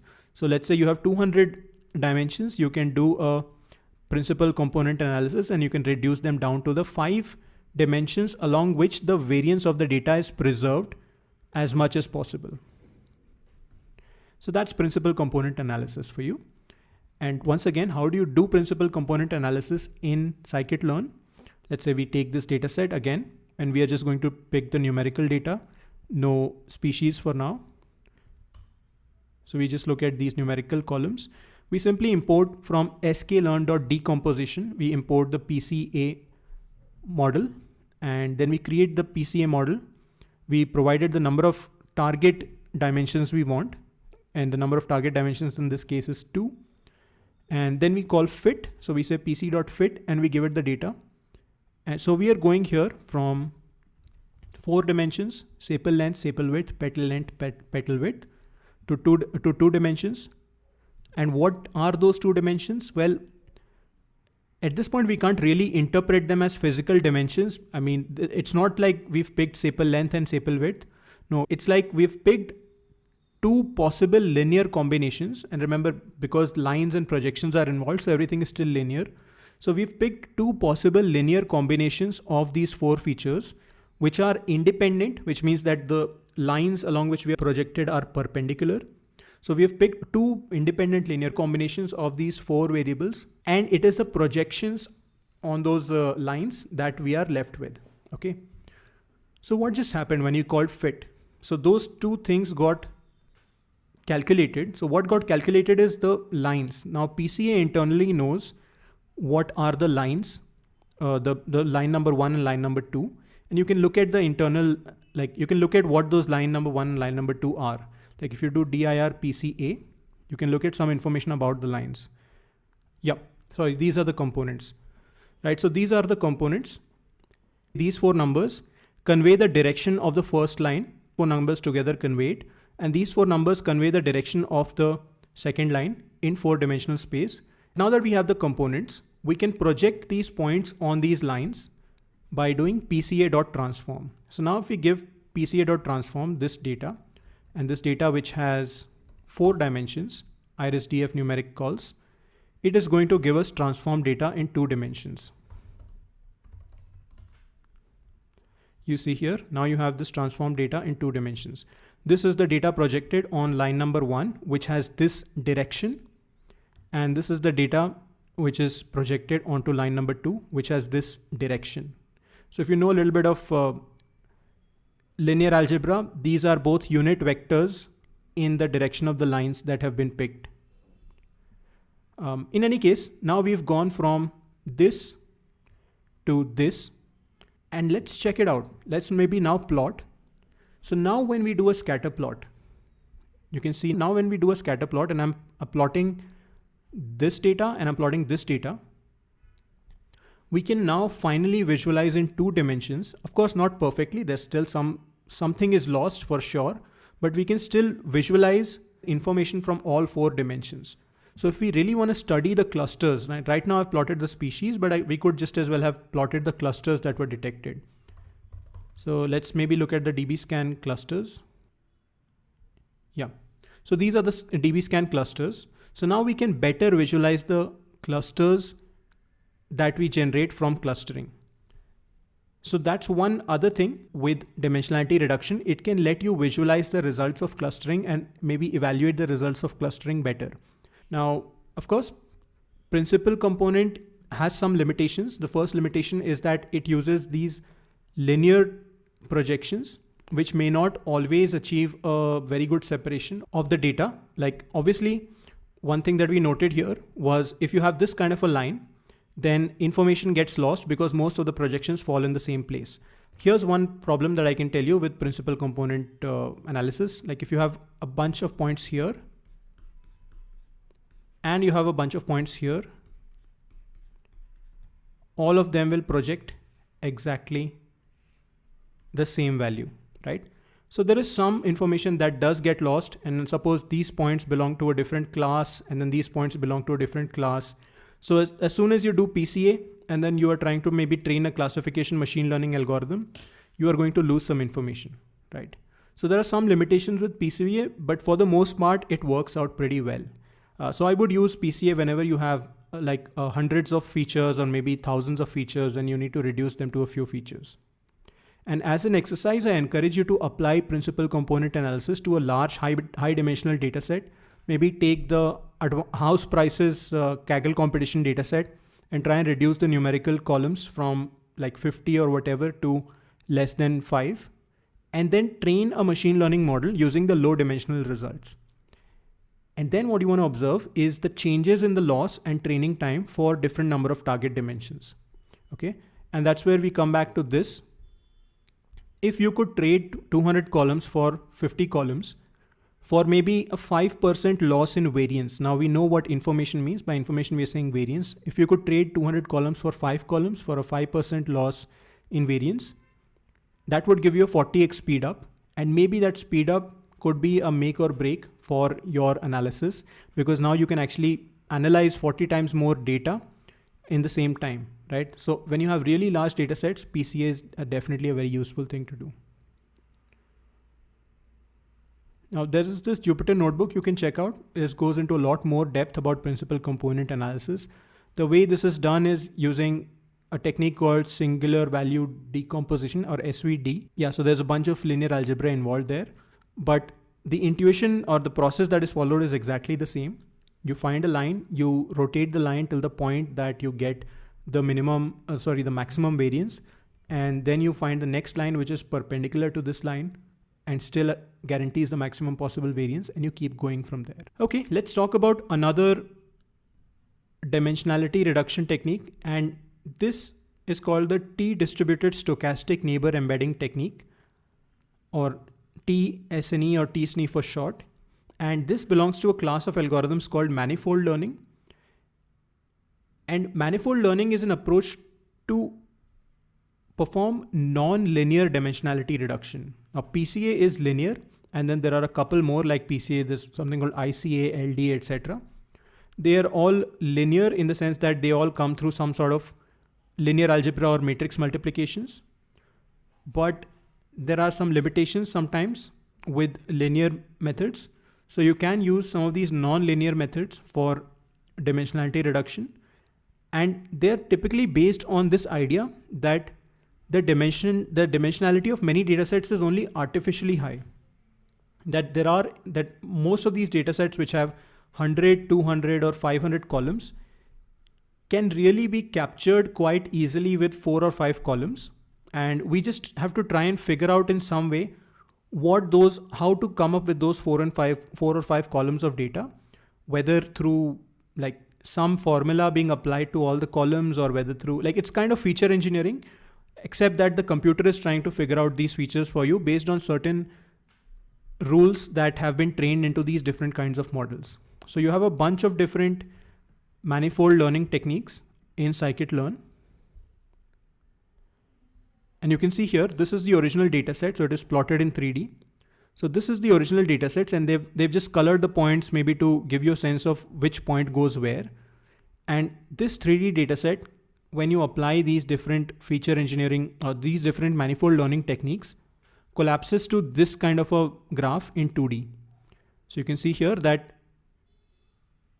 this basically is able to separate out red from red from yellow from green from blue which would be very difficult for PCA to do. Like if you try to draw two lines and draw projections, you would it will be very difficult for you to get a separation like this, but Isomap is able to do that. Uh, here is tsne. You can see with tsne as well, it is able to separate out red it, with from the yellow, from the green, from the blue. And uh, these are all different kinds of separations that you get. Now tsne specifically is TSNE specifically is used to visualize high, very high dimensional data in one, two, or three dimensions. So it is for the purpose of visualization. And very roughly speaking, this is how it works. We're not going to get into the detailed working of tsne because it's a little more involved. It'll take a little more time to talk about it in a lot of detail. But here's how it works. Now, suppose you have, again, these clusters of, data of data of points. Let's say this is petal length and this is petal width. What would happen normally if you were directly going to, if you just directly projected them onto this line, is that all of these blues would then overlap with a bunch of oranges and those would overlap with a bunch of reds. What tsne tries to do is first project them on a line and then move the points around and it moves the point points around using a kind of a nearness rule. So every point that is that is projected down on the line is moved closer to the points that are closer to it in the real data set in the in the original data set and it is it moves away from the points that it is far away from in the original data set okay now i know that's not very it's not a very concrete way of putting it but here's what it means as you project this line, this point down, it will end up here, the blue point. As you project this point down, it will end up here, the orange point. Now what tsne will do is tsne will realize that the blue point here should be closer to other blue points and should be further away from orange points because that's how it is in the real data set. So it's going to move the point, it's going to move the point closer to the blue points and it's going to move the orange points closer to orange points. Okay, so the closeness in the actual data is reflected as closeness in the reduced dimension in the dimensionality reduced uh, dimension reduced data okay? So just keep that in mind uh, and if you have that intuition you will be able to figure out when you need tsne. When you need to maintain the closeness no matter how much you reduce the number of dimensions by tsne is useful. And here is a visual representation of tsne applied to the MNIST dataset. And the MNIST dataset contains 60,000 images of handwritten digits. So it contains 20, 28 pixel by 28 pixel images of the handwritten digits 0 to 9. And 28 by 28 pixel, each pixel, remember, is uh, simply represents a color intensity like red, green, blue, or in this case, they are gray. So just represents like how gray that particular pixel is. Each pixel is a number. So that means each image is represented by 784 numbers, 28 times 28. So we can take those 784 dimensions and we can perform, we can use tsne to reduce that data to two dimensions and then plot it. And when we plot it, this is what we get. tsne is able to very neatly separate out all the images of the number 0 from all the images of the number 1 from all the images of the number 2 3 4 5 and so on okay so there is I, I, I encourage you to check out this video and then there's also a tutorial uh, that I've linked below on yeah sorry there's a tutorial here you can check this out on how to actually create this graph it will take you maybe uh, an hour or so to create this graph to download the data set and maybe look at some samples and create this graph but what we're trying to get at here is that tsne is very powerful for visualizing data. So whenever you have high dimensional data, use tsne to visualize data. Now tsne does not work very well if you have a lot of dimensions, like maybe even 784, it's not ideal to directly reduce it to two dimensions. So typically what ends up happening is you first have maybe let's say 784 dimensions you would take those 784 dimensions and you would perform PCA, principal component analysis, and reduce it to about 50 dimensions. And then you would take those 50 dimensions and reduce it to two dimensions using t-SNE for visualization. Now these two dimensions, uh, the, the one, the data that you get via t-SNE is not that useful for doing machine learning or even for doing data analysis. It is useful for uh, visualization because you can see which points are closer together in the original data. That's what it is trying to tell you. Okay, so that's why you'll see t-SNE used as a visualization technique in a lot of different uh, machine learning algorithms. And how do you perform t-SNE? Exactly the same way as the other uh, as PCA. So you just import the t-SNE class and then you set the number of components or the number of dimensions that you want. And we want to take this four dimensional data and we want to transform it to two dimensions. Now, again, with t-SNE, it there's no predict uh, there's no transform, there's no fit and transform step. Both of them are combined into a fit transform because closeness of the points is very important. So in some sense, you, you don't use t-SNE on new data. You only use t-SNE on the data that you already have. So that's why we are doing a fit transform here and that gives us the transform data. So this is the transform data here. So we've gone from four dimensions to two dimensions. And then when we plot it,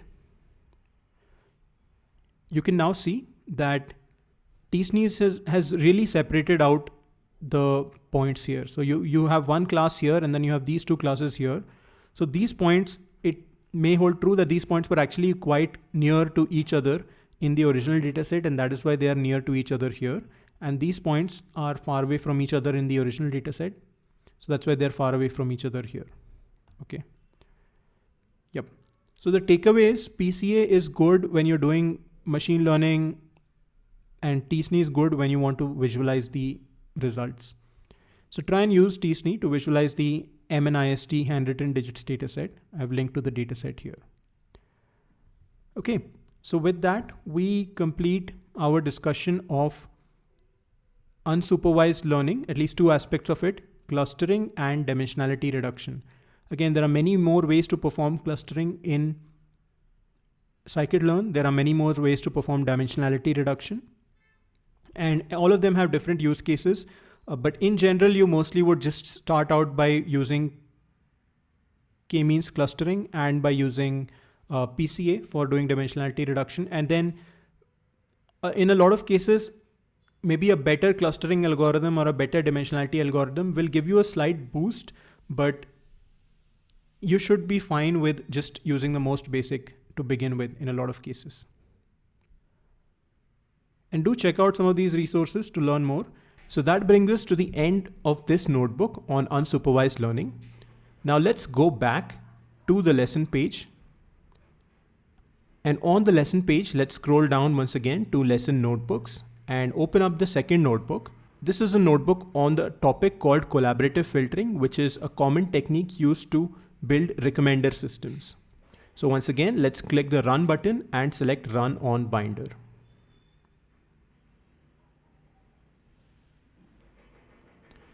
And here we have the notebook running on binder. Okay, now that I've run this notebook, I'm just going to run kernel restart and clear output to remove all the previous outputs, I am going to hide the header, the toolbar, and let's zoom in and we're ready to get started. So we're going to talk about this technique called collaborative filtering with using this library called FastAI. But there are a bunch of other libraries to do the same thing. And we'll try and build a state of the art movie recommendation system with just 10 lines of code. Uh, again, as with scikit-learn and as with most machine learning algorithms, you don't really have to implement the internals. You simply have to use the library, but you have to know what parameters to change. And it helps to understand how these algorithms work so that you can pick the right algorithm for the job. Okay. So you combine that intuitive understanding with being able to manipulate the code well, and that's what makes you a good machine learning practitioner. And as you go deeper, you can learn more about the math involved. Uh, but it's a more it's a practical aspect that is more useful in the in the beginning. So recommender systems are at the core of pretty much every online system we interact with. Social networking sites like Facebook, Twitter, Instagram recommend posts you might like or people you might know or you should follow. Video streaming services like YouTube and Netflix recommend videos, movies, or TV shows you might like. Online shopping sites like Amazon recommend products that you might want to buy. In fact, there is a big debate right now about how much personalization there should be because that sends people into these filter bubbles where or echo chambers on Twitter or filter bubbles on Facebook and other places. And there is also a question about how much of this recommendation and targeting should you be applying for advertising? At what point does it become mind manipulation, right? So it's a tricky territory, uh, but at the very least, we should we should try and understand how some of these systems work, so that we can build intuition about how these algorithms work, and maybe we can try and counter those uh, algorithms in the in the cases that we need to. And there are two types of recommendation methods. There is a content based recommendation. So let's say if I watch a movie and Netflix has a lot of attributes about movies. Netflix has attributes like when the movie was released, what who was the director of the movie, uh, which language the movie was in, what was the cast of the movie, what was the length of the movie, what was the genre of the movie, etc., etc. Netflix can then maybe recommend to me similar movies in the genre, and Netflix can recommend to me movies by the same director or movies with the same actors so that is called content based recommendation. But the other kind of recommendation is called collaborative filtering. And collaborative filtering is a method of making predictions about the interests of a user by collecting preferences from many users. So the underlying assumption in collaborative filtering is that if a person A has the same opinion as a person B on an issue, then A is A is more likely to have B's opinion on a different issue than that of a randomly chosen person. That's the Wikipedia definition. Putting it in Netflix terms, if I know that you've watched a movie, or, or if I look at your watch history and I look at 10 other people who have a similar watch history, and if I pick a, a, a movie that they have watched and you haven't watched, it is very likely that you will like that movie.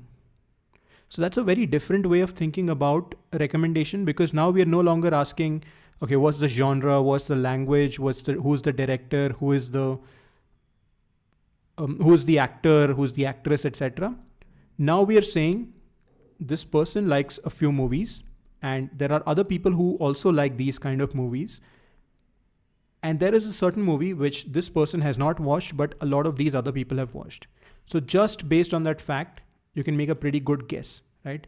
And, and that's just simply because of how uh, human beings function or uh, how human beings uh, think. Uh, we think alike in several ways, and collaborative filtering tries to capitalize on that. That if you have the same opinion as a person B on one issue, then you are likely to have the same opinion as a person B on a different issue as well. So there are many different algorithms that implement collaborative filtering. It is the collaborative, the key idea of collaborative filtering is instead of looking at the content, you look at the connections between users and items. Now, these items could be movies. Uh, in the case of Netflix, these items could be products. In the case of Amazon, these items could be other users or friend suggestions in the case of Facebook or Twitter, and so on. But on the one side, you almost always have users. It's a very human centric algorithm in some sense. And there is this library called librec for Java, which has over 70 different algorithms for collaborative filtering. And in this tutorial, we will look at a relatively new technique, uh, which is also one of the most powerful ones called neural collaborative filtering. Okay. So here's the dataset we're going to use. This dataset is called the Movie Lens 100K dataset. It is a collection of movie ratings by 943 users on 1682 sites. uh, 1682 movies. So there is a movie site like uh, IMDb. This one's called Movie Lens, and they have a bunch of movies listed. They have 1600 movies listed on the site, and they have several users who have put ratings on these movies. So here's what the dataset looks like. You have a user ID, and then you have a movie ID, and then you also have the title of the movie, and then you have a rating that the user has given to the movie. Now, of course, not every user has seen or rated every movie. So if every user had rated every movie, then you would have 1682 times 943. You would, you would have more than a million ratings. But in total, you only have 100,000 ratings, which tells you that most users have watched maybe 10 movies or sorry, 100 movies, right? Out of the thousand. So most users have watched less than 6% of movies in the data in the database. And that actually gives us a big opportunity.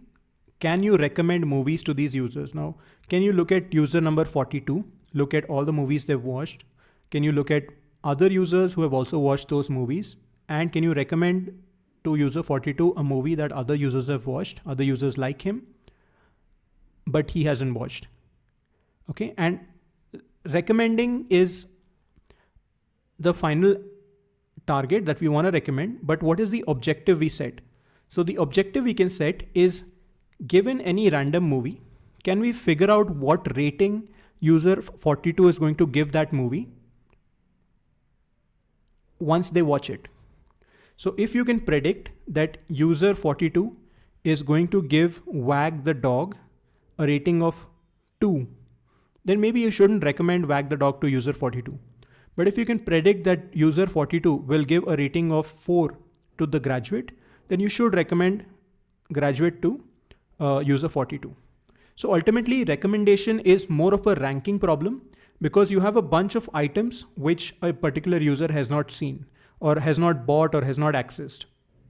If you could rank those items by the probability or by some some measure, in this case the rating, an estimated rating of what the user would give that item, then you can simply recommend the highest rated or the highest uh, scoring item to the user. Okay. So keep that in mind that when we say we want to recommend things, what we want to do is we want to rank all the unseen items and then we want to take the top two, three, or five unseen items and show them to the user. So when Facebook recommends a friend suggestion to you, or give, uh, or when Netflix recommends a movie to you, they're actually ranking hundreds of movies behind the scenes, and they uh, just for you. So that's uh, just for you, and out of those, they pick out maybe the top five or maybe a random five out of the top twenty, and show you those on your dashboard. And that's why each time you refresh, you may actually see a different result because they also introduce some randomization because they know that it's uh, it doesn't make sense to always keep showing you the same thing. People also like variety. So there's a good combination of um, randomization as well as just like a ranking system here. Okay, so that's the setup here. Every user is given a unique numeric ID ranging from 1 to 943 and every movie is given a unique numeric ID too ranging from 1 to 1682. Users rating for movies are integers ranging from 1 to 5, 5 being the highest, 1 being the lowest. And there are each user has uh, on average people have seen about 100 movies. So there are 900 other or sorry there are four, 1500 other movies to choose from for pretty much every user. And what we want to do is build a model that can predict how a user would rate a movie that they have not already seen by looking at the movie ratings of other users with similar tastes that's our objective now if we can rate movies that they haven't already seen or predict how they would rate a movie that they haven't already seen, then we can simply make those predictions and recommend to them the movies with the highest predicted ratings. So the first step is to download the Movie Lens dataset. It is available on the Group Lens website. And once it is downloaded, we would also have to unzip because it's a zip file. So all that code is here. So you can just download and unzip the dataset and that puts us, that puts this data into this ML100K folder. Okay.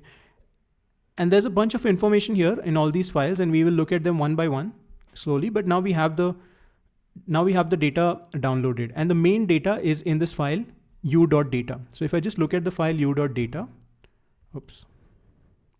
Yeah, if I just, look at the file u.data, if I just do head u.data, ml100k slash u.data, you can see that there is, yeah, there is this user ID, there is this movie ID, and then there is this rating. And we can ignore this last one for now, but we have all the useful information that we need in u.data, user ID, movie ID, and rating.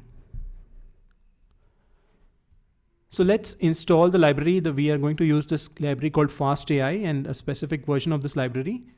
And let us also import pandas. And let's first open up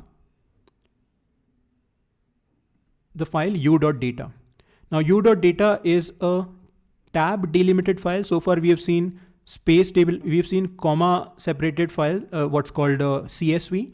This is a TSV file. So in this case, you will actually see this is one character. So this is the tab character and pandas can read in tab delimited files as well using the same read CSV function. So we just do pd.read CSV. We give it the link to the file, uh, sorry, the path to the file. And we just specify that instead of separating by commas, it is being separated by tabs. And this is used to indicate the tab character. And there's no header, but it's it's given in the README that this is the user ID, movie ID rating, and this is some kind of a timestamp and this is what it looks like. So now we have a user ID, movie ID rating. Great. And now from this point on, we are going to use this library and from this library, we are going to train our collaborative filtering model. Okay.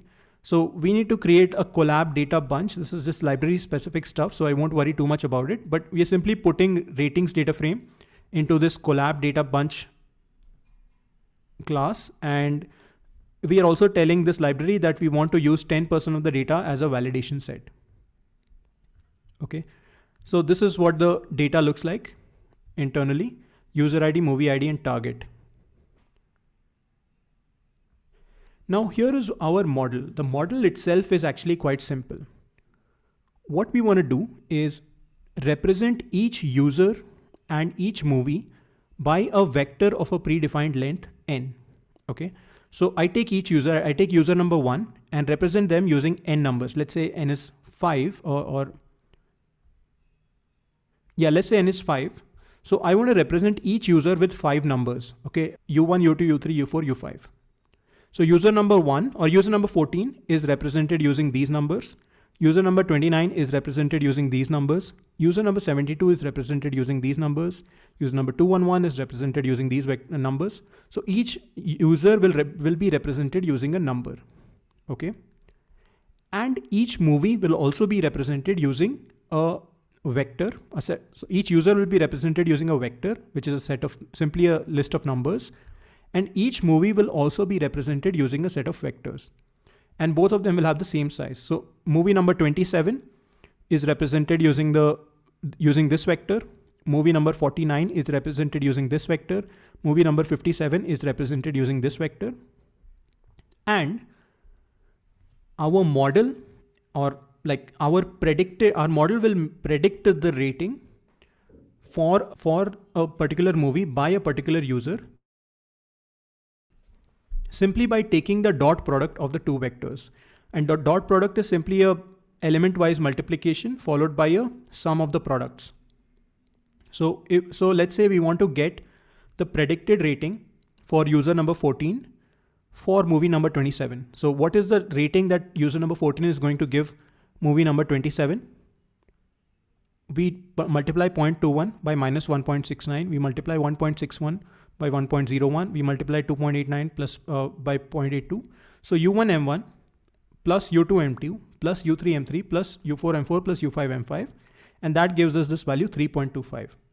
So in our model, assuming we have these vectors for all the users and have these vectors for all the movies, our model's rating is simply the dot product okay, of the user and the movie rating. So that's what our model is going to be.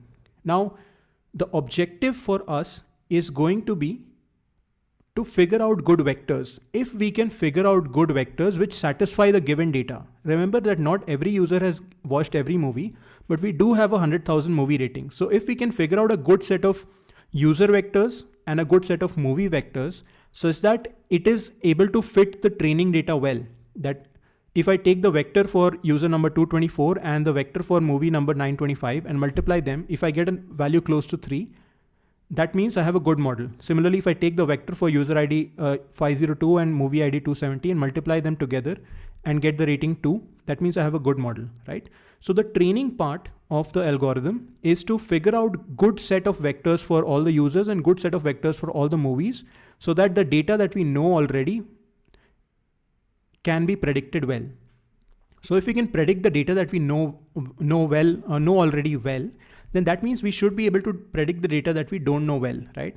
So the idea is that if you can, if your model can accurately predict ratings for the movies that have already been watched by users, your model will be able to predict ratings for the movies that have not been watched by users. Okay, that's the idea. Now, how does this component of collaborative filtering come into picture uh, here? Like how does the interplay of different users come together? Well, think of it this way. This number 1.69 minus 1.69 will get multiplied with every user vector to get their rating, right?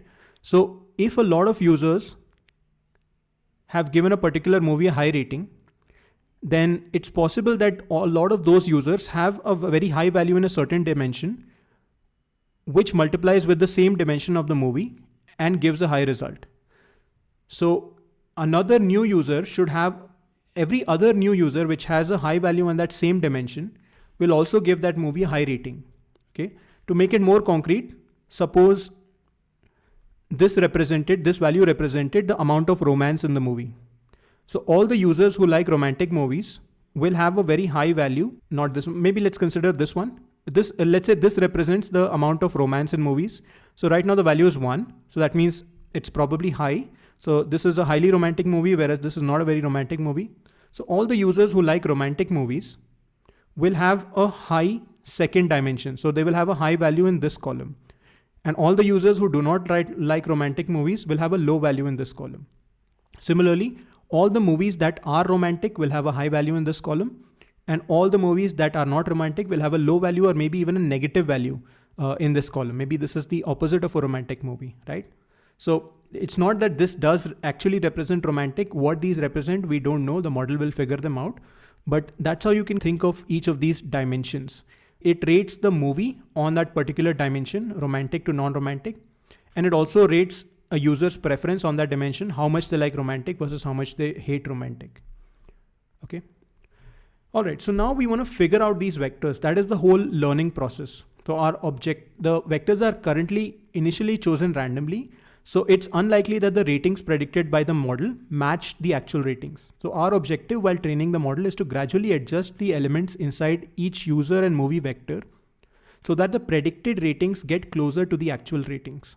For this, FastAI has a collab learner class, so we'll not bother too much with the details here, but it needs just a couple of things. We need to give it what are all the factors, oh, sorry, what is the number of factors, which is what is the size of each vector, so remember user vectors and movie vectors each should have the same number of dimensions, otherwise the dot product will not match up.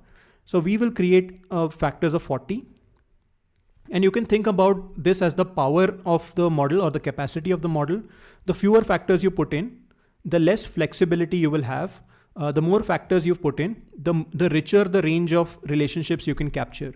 Maybe if you put in a if you put in just two or three factors, then your model is forced to optimize on just maybe um, one or two attributes of the movie and the users. But if you allow the model to have 40 factors, it can optimize on a bunch of different uh, bunch of different attributes.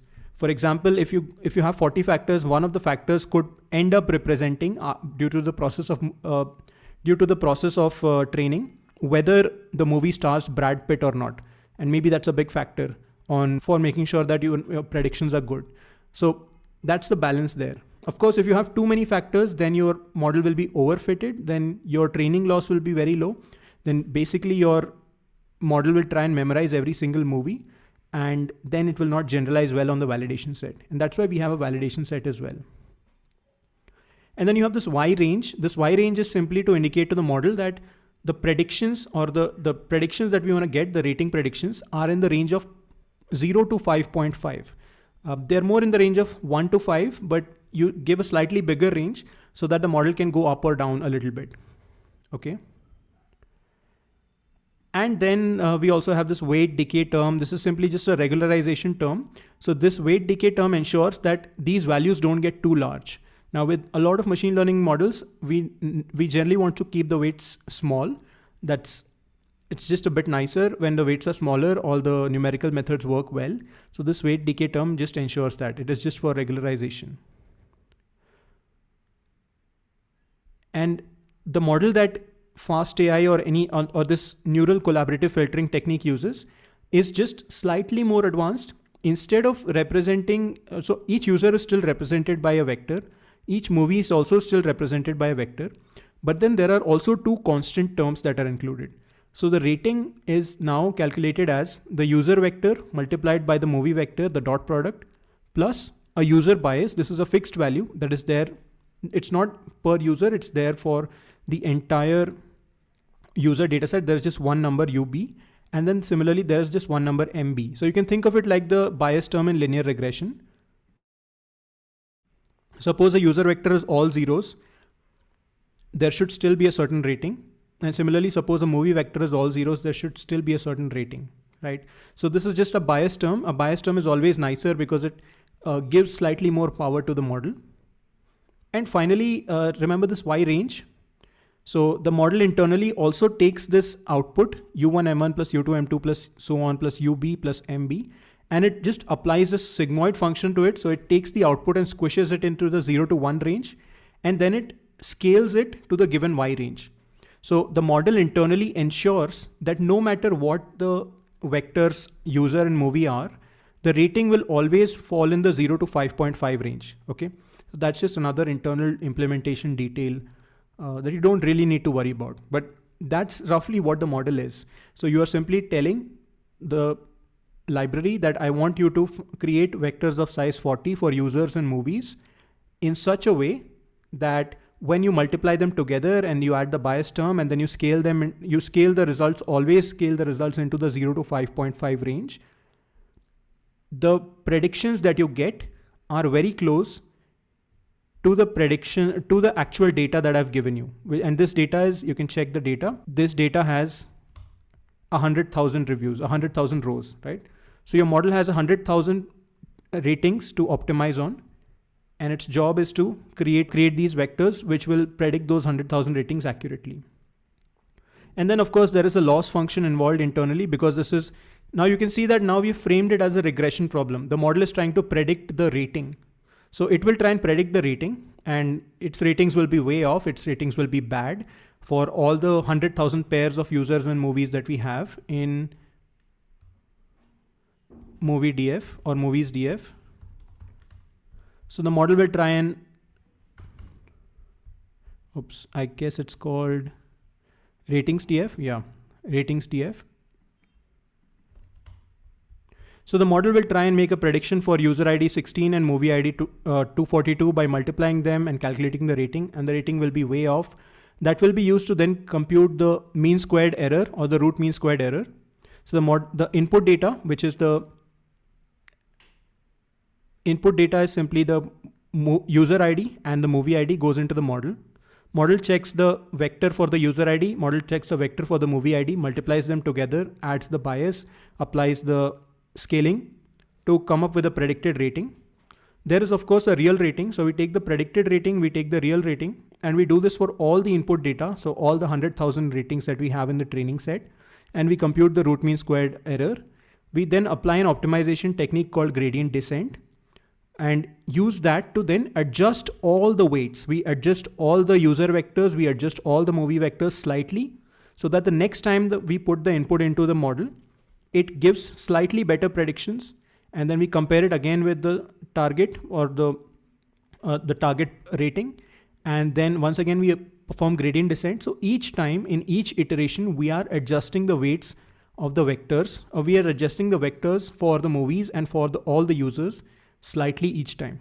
Okay. and that's what this all of this business is here we are going to use like a there's a certain way of training these models and there's a certain learning rate involved how much you adjust the vectors in each iteration all of that is involved so what we're going to do is we're going to run five iterations so we are going to pass all the data through the model five times and we are going to use a learning rate of 0.1 so each time the adjustments that are made to the weights or adjustments that are made to the vectors for the users in the movies are scaled by 0.1. Okay, so that's what we're going to do here. And there's also another detail internally that when gradient descent is performed, it is done in batches. So we don't take all the data and put it into the model at once. We take batches of maybe 100, uh, 100 inputs, put them into the model, get the outputs, calculate loss, and uh, perform the optimization, improve the weights.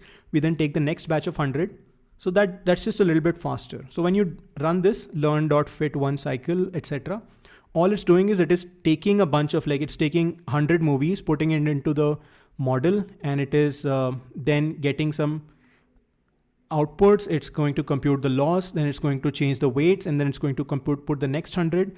And we are going to do 100, 100, 100 till we run out of all 100,000. So that, means a thousand epoch, uh, a thousand iterations, and then we repeat that whole thing five times. So the entire data set in batches of 100 goes through the this training process five times. So this is five. This is called the number of epochs, and this is called the learning rate. And here, after each each epoch and each learning rate, you can see what is the training loss. So this is basically the root mean squared error, and what is the validation loss. Well, actually, it is mean squared error. So the square root of that would be the root mean squared error. But the mean when the mean squared error after about five iteration is going to come down to about 0.80. So that's a mean squared error. So if I just do SQRT of 0.8, so square root of 0.8 is 0.89. So that means our root mean squared error is 0.89 or 0.9. That means our predictions are off by 0.9. So if a user has given a movie a rating of 4, our prediction is either closer to 3 or closer to 5. It's in the 3 to 5 range. If the user has given a movie a rating of 2, our prediction is in the range of 0 to uh, 0 to uh, sorry 1 to 3. So we're not that far away. And how are we deciding how good our predictions are? So we've set aside 10% of the ratings as the validation set and we are only using 90% of the data as the training set. So using the 90% of the data, we train the model and then using the last 10% validation set, we are not showing the actual ratings and we are asking the model to just make predictions given a user ID and a movie ID and take that prediction and compare it. We are comparing it with the validation set, just as we've been doing normally for all our supervised learning techniques, right? So this is also a form of supervised learning. And this validation set basically tells us that the model for user movie pairs it has not seen is able to make predictions with a mean squared error of 0.8, which means it is off by plus or minus 1 on the whole, or plus or minus 0.9 on the whole. And that's not bad at all. Plus or minus 0.9 is not bad at all. Here we are just making some predictions on the validation set. So the a real prediction for a particular user movie pair was, okay, let me also just maybe print the users and items here. Just give me a second.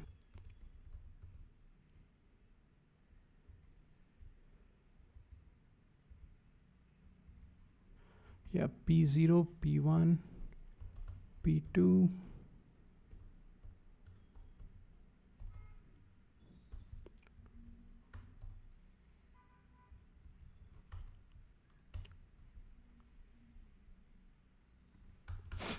Yep. So here are some predictions. This is from the validation set. So the model did not see this. This data was not used for training. So for user number 861 and for movie number 736, the real rating the user has given the movie was 4.0. And our model, having never seen this combination before or having never seen the real rating, was able to predict 4.1. So it was only off by 0.1. For user number 118 and movie number 547, the real rating user gave the movie was 5.0. Our model predicted 4.2. So it was only off by 0.8. Similarly, for user 458, movie 509, Uh, the real prediction, the real rating was 4.0. Our model predicted 3.8. So you're only off by minus 0.2. So a model has gotten pretty good. And of course it should. It has 90, it has looked at 90% of the training data. So it has looked at 98,000 ratings. And using those 90,000 ratings, it has come up with these vectors for all these users and all these movies. Now here's what we can do. Given a particular user, we can now make prediction for that user for all the possible movies. Okay. And the way to do that would still be just like this. You, we just do, we just call this model object with a bunch of users and a bunch of items. So if we just created a list of like, a list like this. So for users, we simply put in one, one, one, one, one, one, one. So I just want to make predictions for user number one. And then for items, I simply put in uh, all the movies that I want to rank for the user. So 1, 2, 3, 4, 5, 6, 7, 8, 9, 10, 11, 12. How much is that? 1, 2, 3, 4, 5, 6, 7, 8, 9, 10, 11, 12, 13, 14, 15. 13, 14, 15. Yeah, there you go, 15. And I'm just to hide this here. Okay. And this needs to be, yep. So now for user one, movie one, their predicted rating is 4.4. Uh, let's forget the real rating for, for a moment. But for user one, movie two, the predicted rating is 3.0. For user one, movie three, the predicted rating is 3.4. So for every user and for every movie, you can get this rating. And then you can try and find the highest rated movie for that user and simply recommend those. Okay. So we can now use this model to predict how users would rate movies that they haven't seen and recommend these the movies that have a high predicted rating. And this is what that interface might look like. The moment you open Netflix or something, you could recommend that these are the movies you're interested in. And of course, you could also just show an average rating, or maybe you could just show rating from users who have a very similar vector.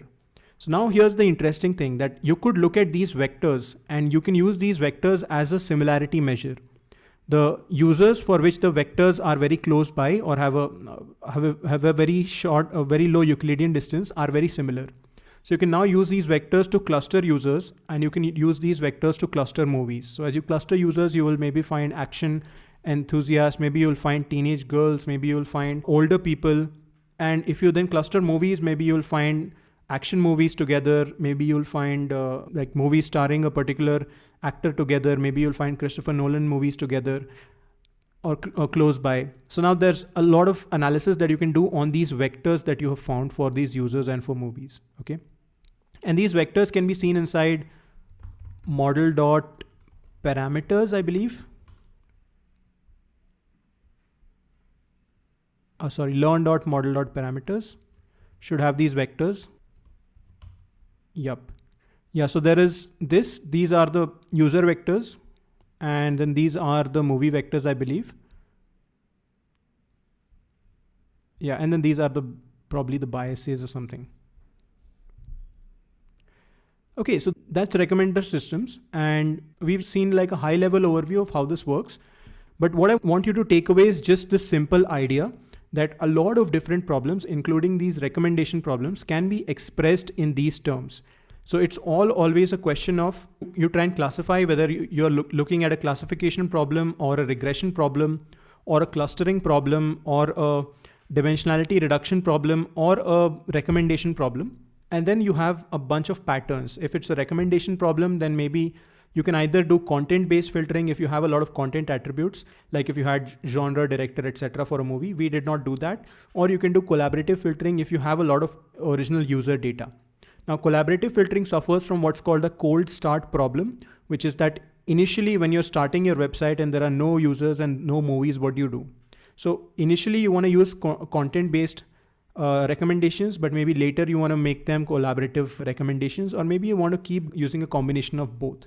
But yeah, this is yet another category of machine learning problems, and recommender systems could potentially be a course in itself. So that brings us to the end of this notebook and this lesson on unsupervised learning and recommendations. This is also the last topic in the course. So let's go back to the course homepage and review the topics that we've covered in this course so far. So we started out talking about linear regression with scikit-learn. We saw how to download a real world dataset and prepare data for machine learning. We talked about building a linear regression model with a single feature and then with multiple features. Then we also saw how to generate predictions using the trained model and how to evaluate machine learning models. We then applied the same principles to logistic regression for classification. So this was a different kind of problem where instead of predicting a single number, we were attempting to classify inputs into one of two categories. So we saw how to download and process datasets from Kaggle. We saw how to train a logistic regression model and how it works under the hood. We also looked at model evaluation, prediction, and we saw how to save the trained weights of the model so that we do not have to train a model from scratch each time we need to use it. Then you worked on the first assignment where you trained your first machine learning model, where you downloaded and did, prepared a dataset for training. Then you trained a linear regression model using scikit-learn. And then you also made some predictions and evaluated the model. Next, we looked at decision trees and hyperparameters, where we once again downloaded a real world dataset and prepared that dataset for training. And then we trained and interpreted decision trees. We also learned about hyperparameters that can be applied to decision trees to improve their performance and to reduce overfitting. In the next lesson, we looked at random forests and regularization. We saw how to go from a single decision tree to a forest of decision trees several randomizations that are applied in to each tree. So we saw how to train and interpret random forests. We looked at ensemble methods in general, why they work and how random forests apply them. And we also tuned some hyperparameters for random forests specifically to reduce overfitting and regularize the model. The second assignment was on training decision trees and random forests where you prepared a real world dataset for training and then you trained a decision tree and a random forest and finally you tuned some hyperparameters and regularized the model. Next, we looked at gradient boosting with XGBoost. We trained and evaluated an XGBoost model. We learned about gradient boosting, the technique where we train multiple models to correct the errors made by previous models. That is the technique called boosting and Specifically, when it is done with trees, it is called gradient boosted decision trees. You can also have linear models. So you can have gradient boosted linear models as well. And we looked at the XGBoost library. We also looked at techniques like data normalization and cross validation. And we also looked at hyperparameter tuning and regularization for XGBoost. The course project is for you to build a real world machine learning model where you will perform data cleaning and feature engineering on a data set that you download from an online source such as Kaggle. Then you will perform training and you will compare and tune multiple types of models. And finally, you will document and publish your work online. Today, we looked at unsupervised learning and recommendations where we looked at clustering and dimensionality reduction using scikit-learn. We also learned about collaborative filtering and recommendations. And there are several other supervised learning algorithms available in scikit-learn that you should also check out. Now you will also have an optional assignment on gradient boosting where you will train a LightGBM model from scratch, make predictions and evaluate results and tune hyperparameters and regularize a model. This assignment will be live shortly. So you can earn a verified certificate of accomplishment for free by completing all the weekly assignments and the course project. And the certificate can be added to your LinkedIn profile or linked from your resume or even downloaded as a PDF. So where do you go from here? Well, there are four good sources for learning more about machine learning and machine learning is all about building projects, building models and experimenting with different kinds of machine learning techniques and hyperparameters. So I recommend checking out Kaggle notebooks, datasets, competitions, and discussions. Just pick any popular dataset on Kaggle, check out the code tab or any competition, check out the code tab and read through some of the notebooks. Here you will find data science experts from around the world sharing the best practices that they use in their day-to-day -day work. Another course I recommend checking out is Machine Learning by Andrew Ng on Coursera. This is a great course that helps build some of the theoretical and mathematical foundations of machine learning. So it's a great complement to this course, which is far more applied and practical. You should also check out the book Hands-on Machine Learning by Aurélien Géron. It's a great book on machine learning using scikit-learn and deep learning using the TensorFlow framework. And finally, we have a course called Deep Learning with Python, Zero to GANs. This is an online course on Jovian. So you can check it out on jovian.ai. And the most important thing is to keep training models, keep building great projects. So what should you do next? Review the lecture videos and execute the Jupyter notebook. Complete the lecture exercises and start working on the assignment and discuss on the forum and on the Discord server. So with that, I'll see you in the forums and you can find us on zerotogbms.com or on Twitter at, at jovianml and at aakashns. This was lesson six of the course Machine Learning with Python Zero to GBMs. The topic was unsupervised learning and recommendations. I hope to see you again in a new course and there are several other courses available on Jovian. Just go to jovian.ai and check out the courses that we have. So you have a course on data analysis with Python, zero to pandas. You have a course on deep learning with PyTorch. You have a course on data structures and algorithms. And we have a course on machine learning. And if you're interested in making a career transition to data science, then you should definitely consider checking out the Zero to Data Science Bootcamp by Jovian, a 20 week live certification program designed to help you learn industry standard tools and techniques for data science, build real world projects, and start your career as a data scientist. We have limited seats for this program. With that, we've reached the end of this course. So thank you and have a good day or good night. I'll see you again soon.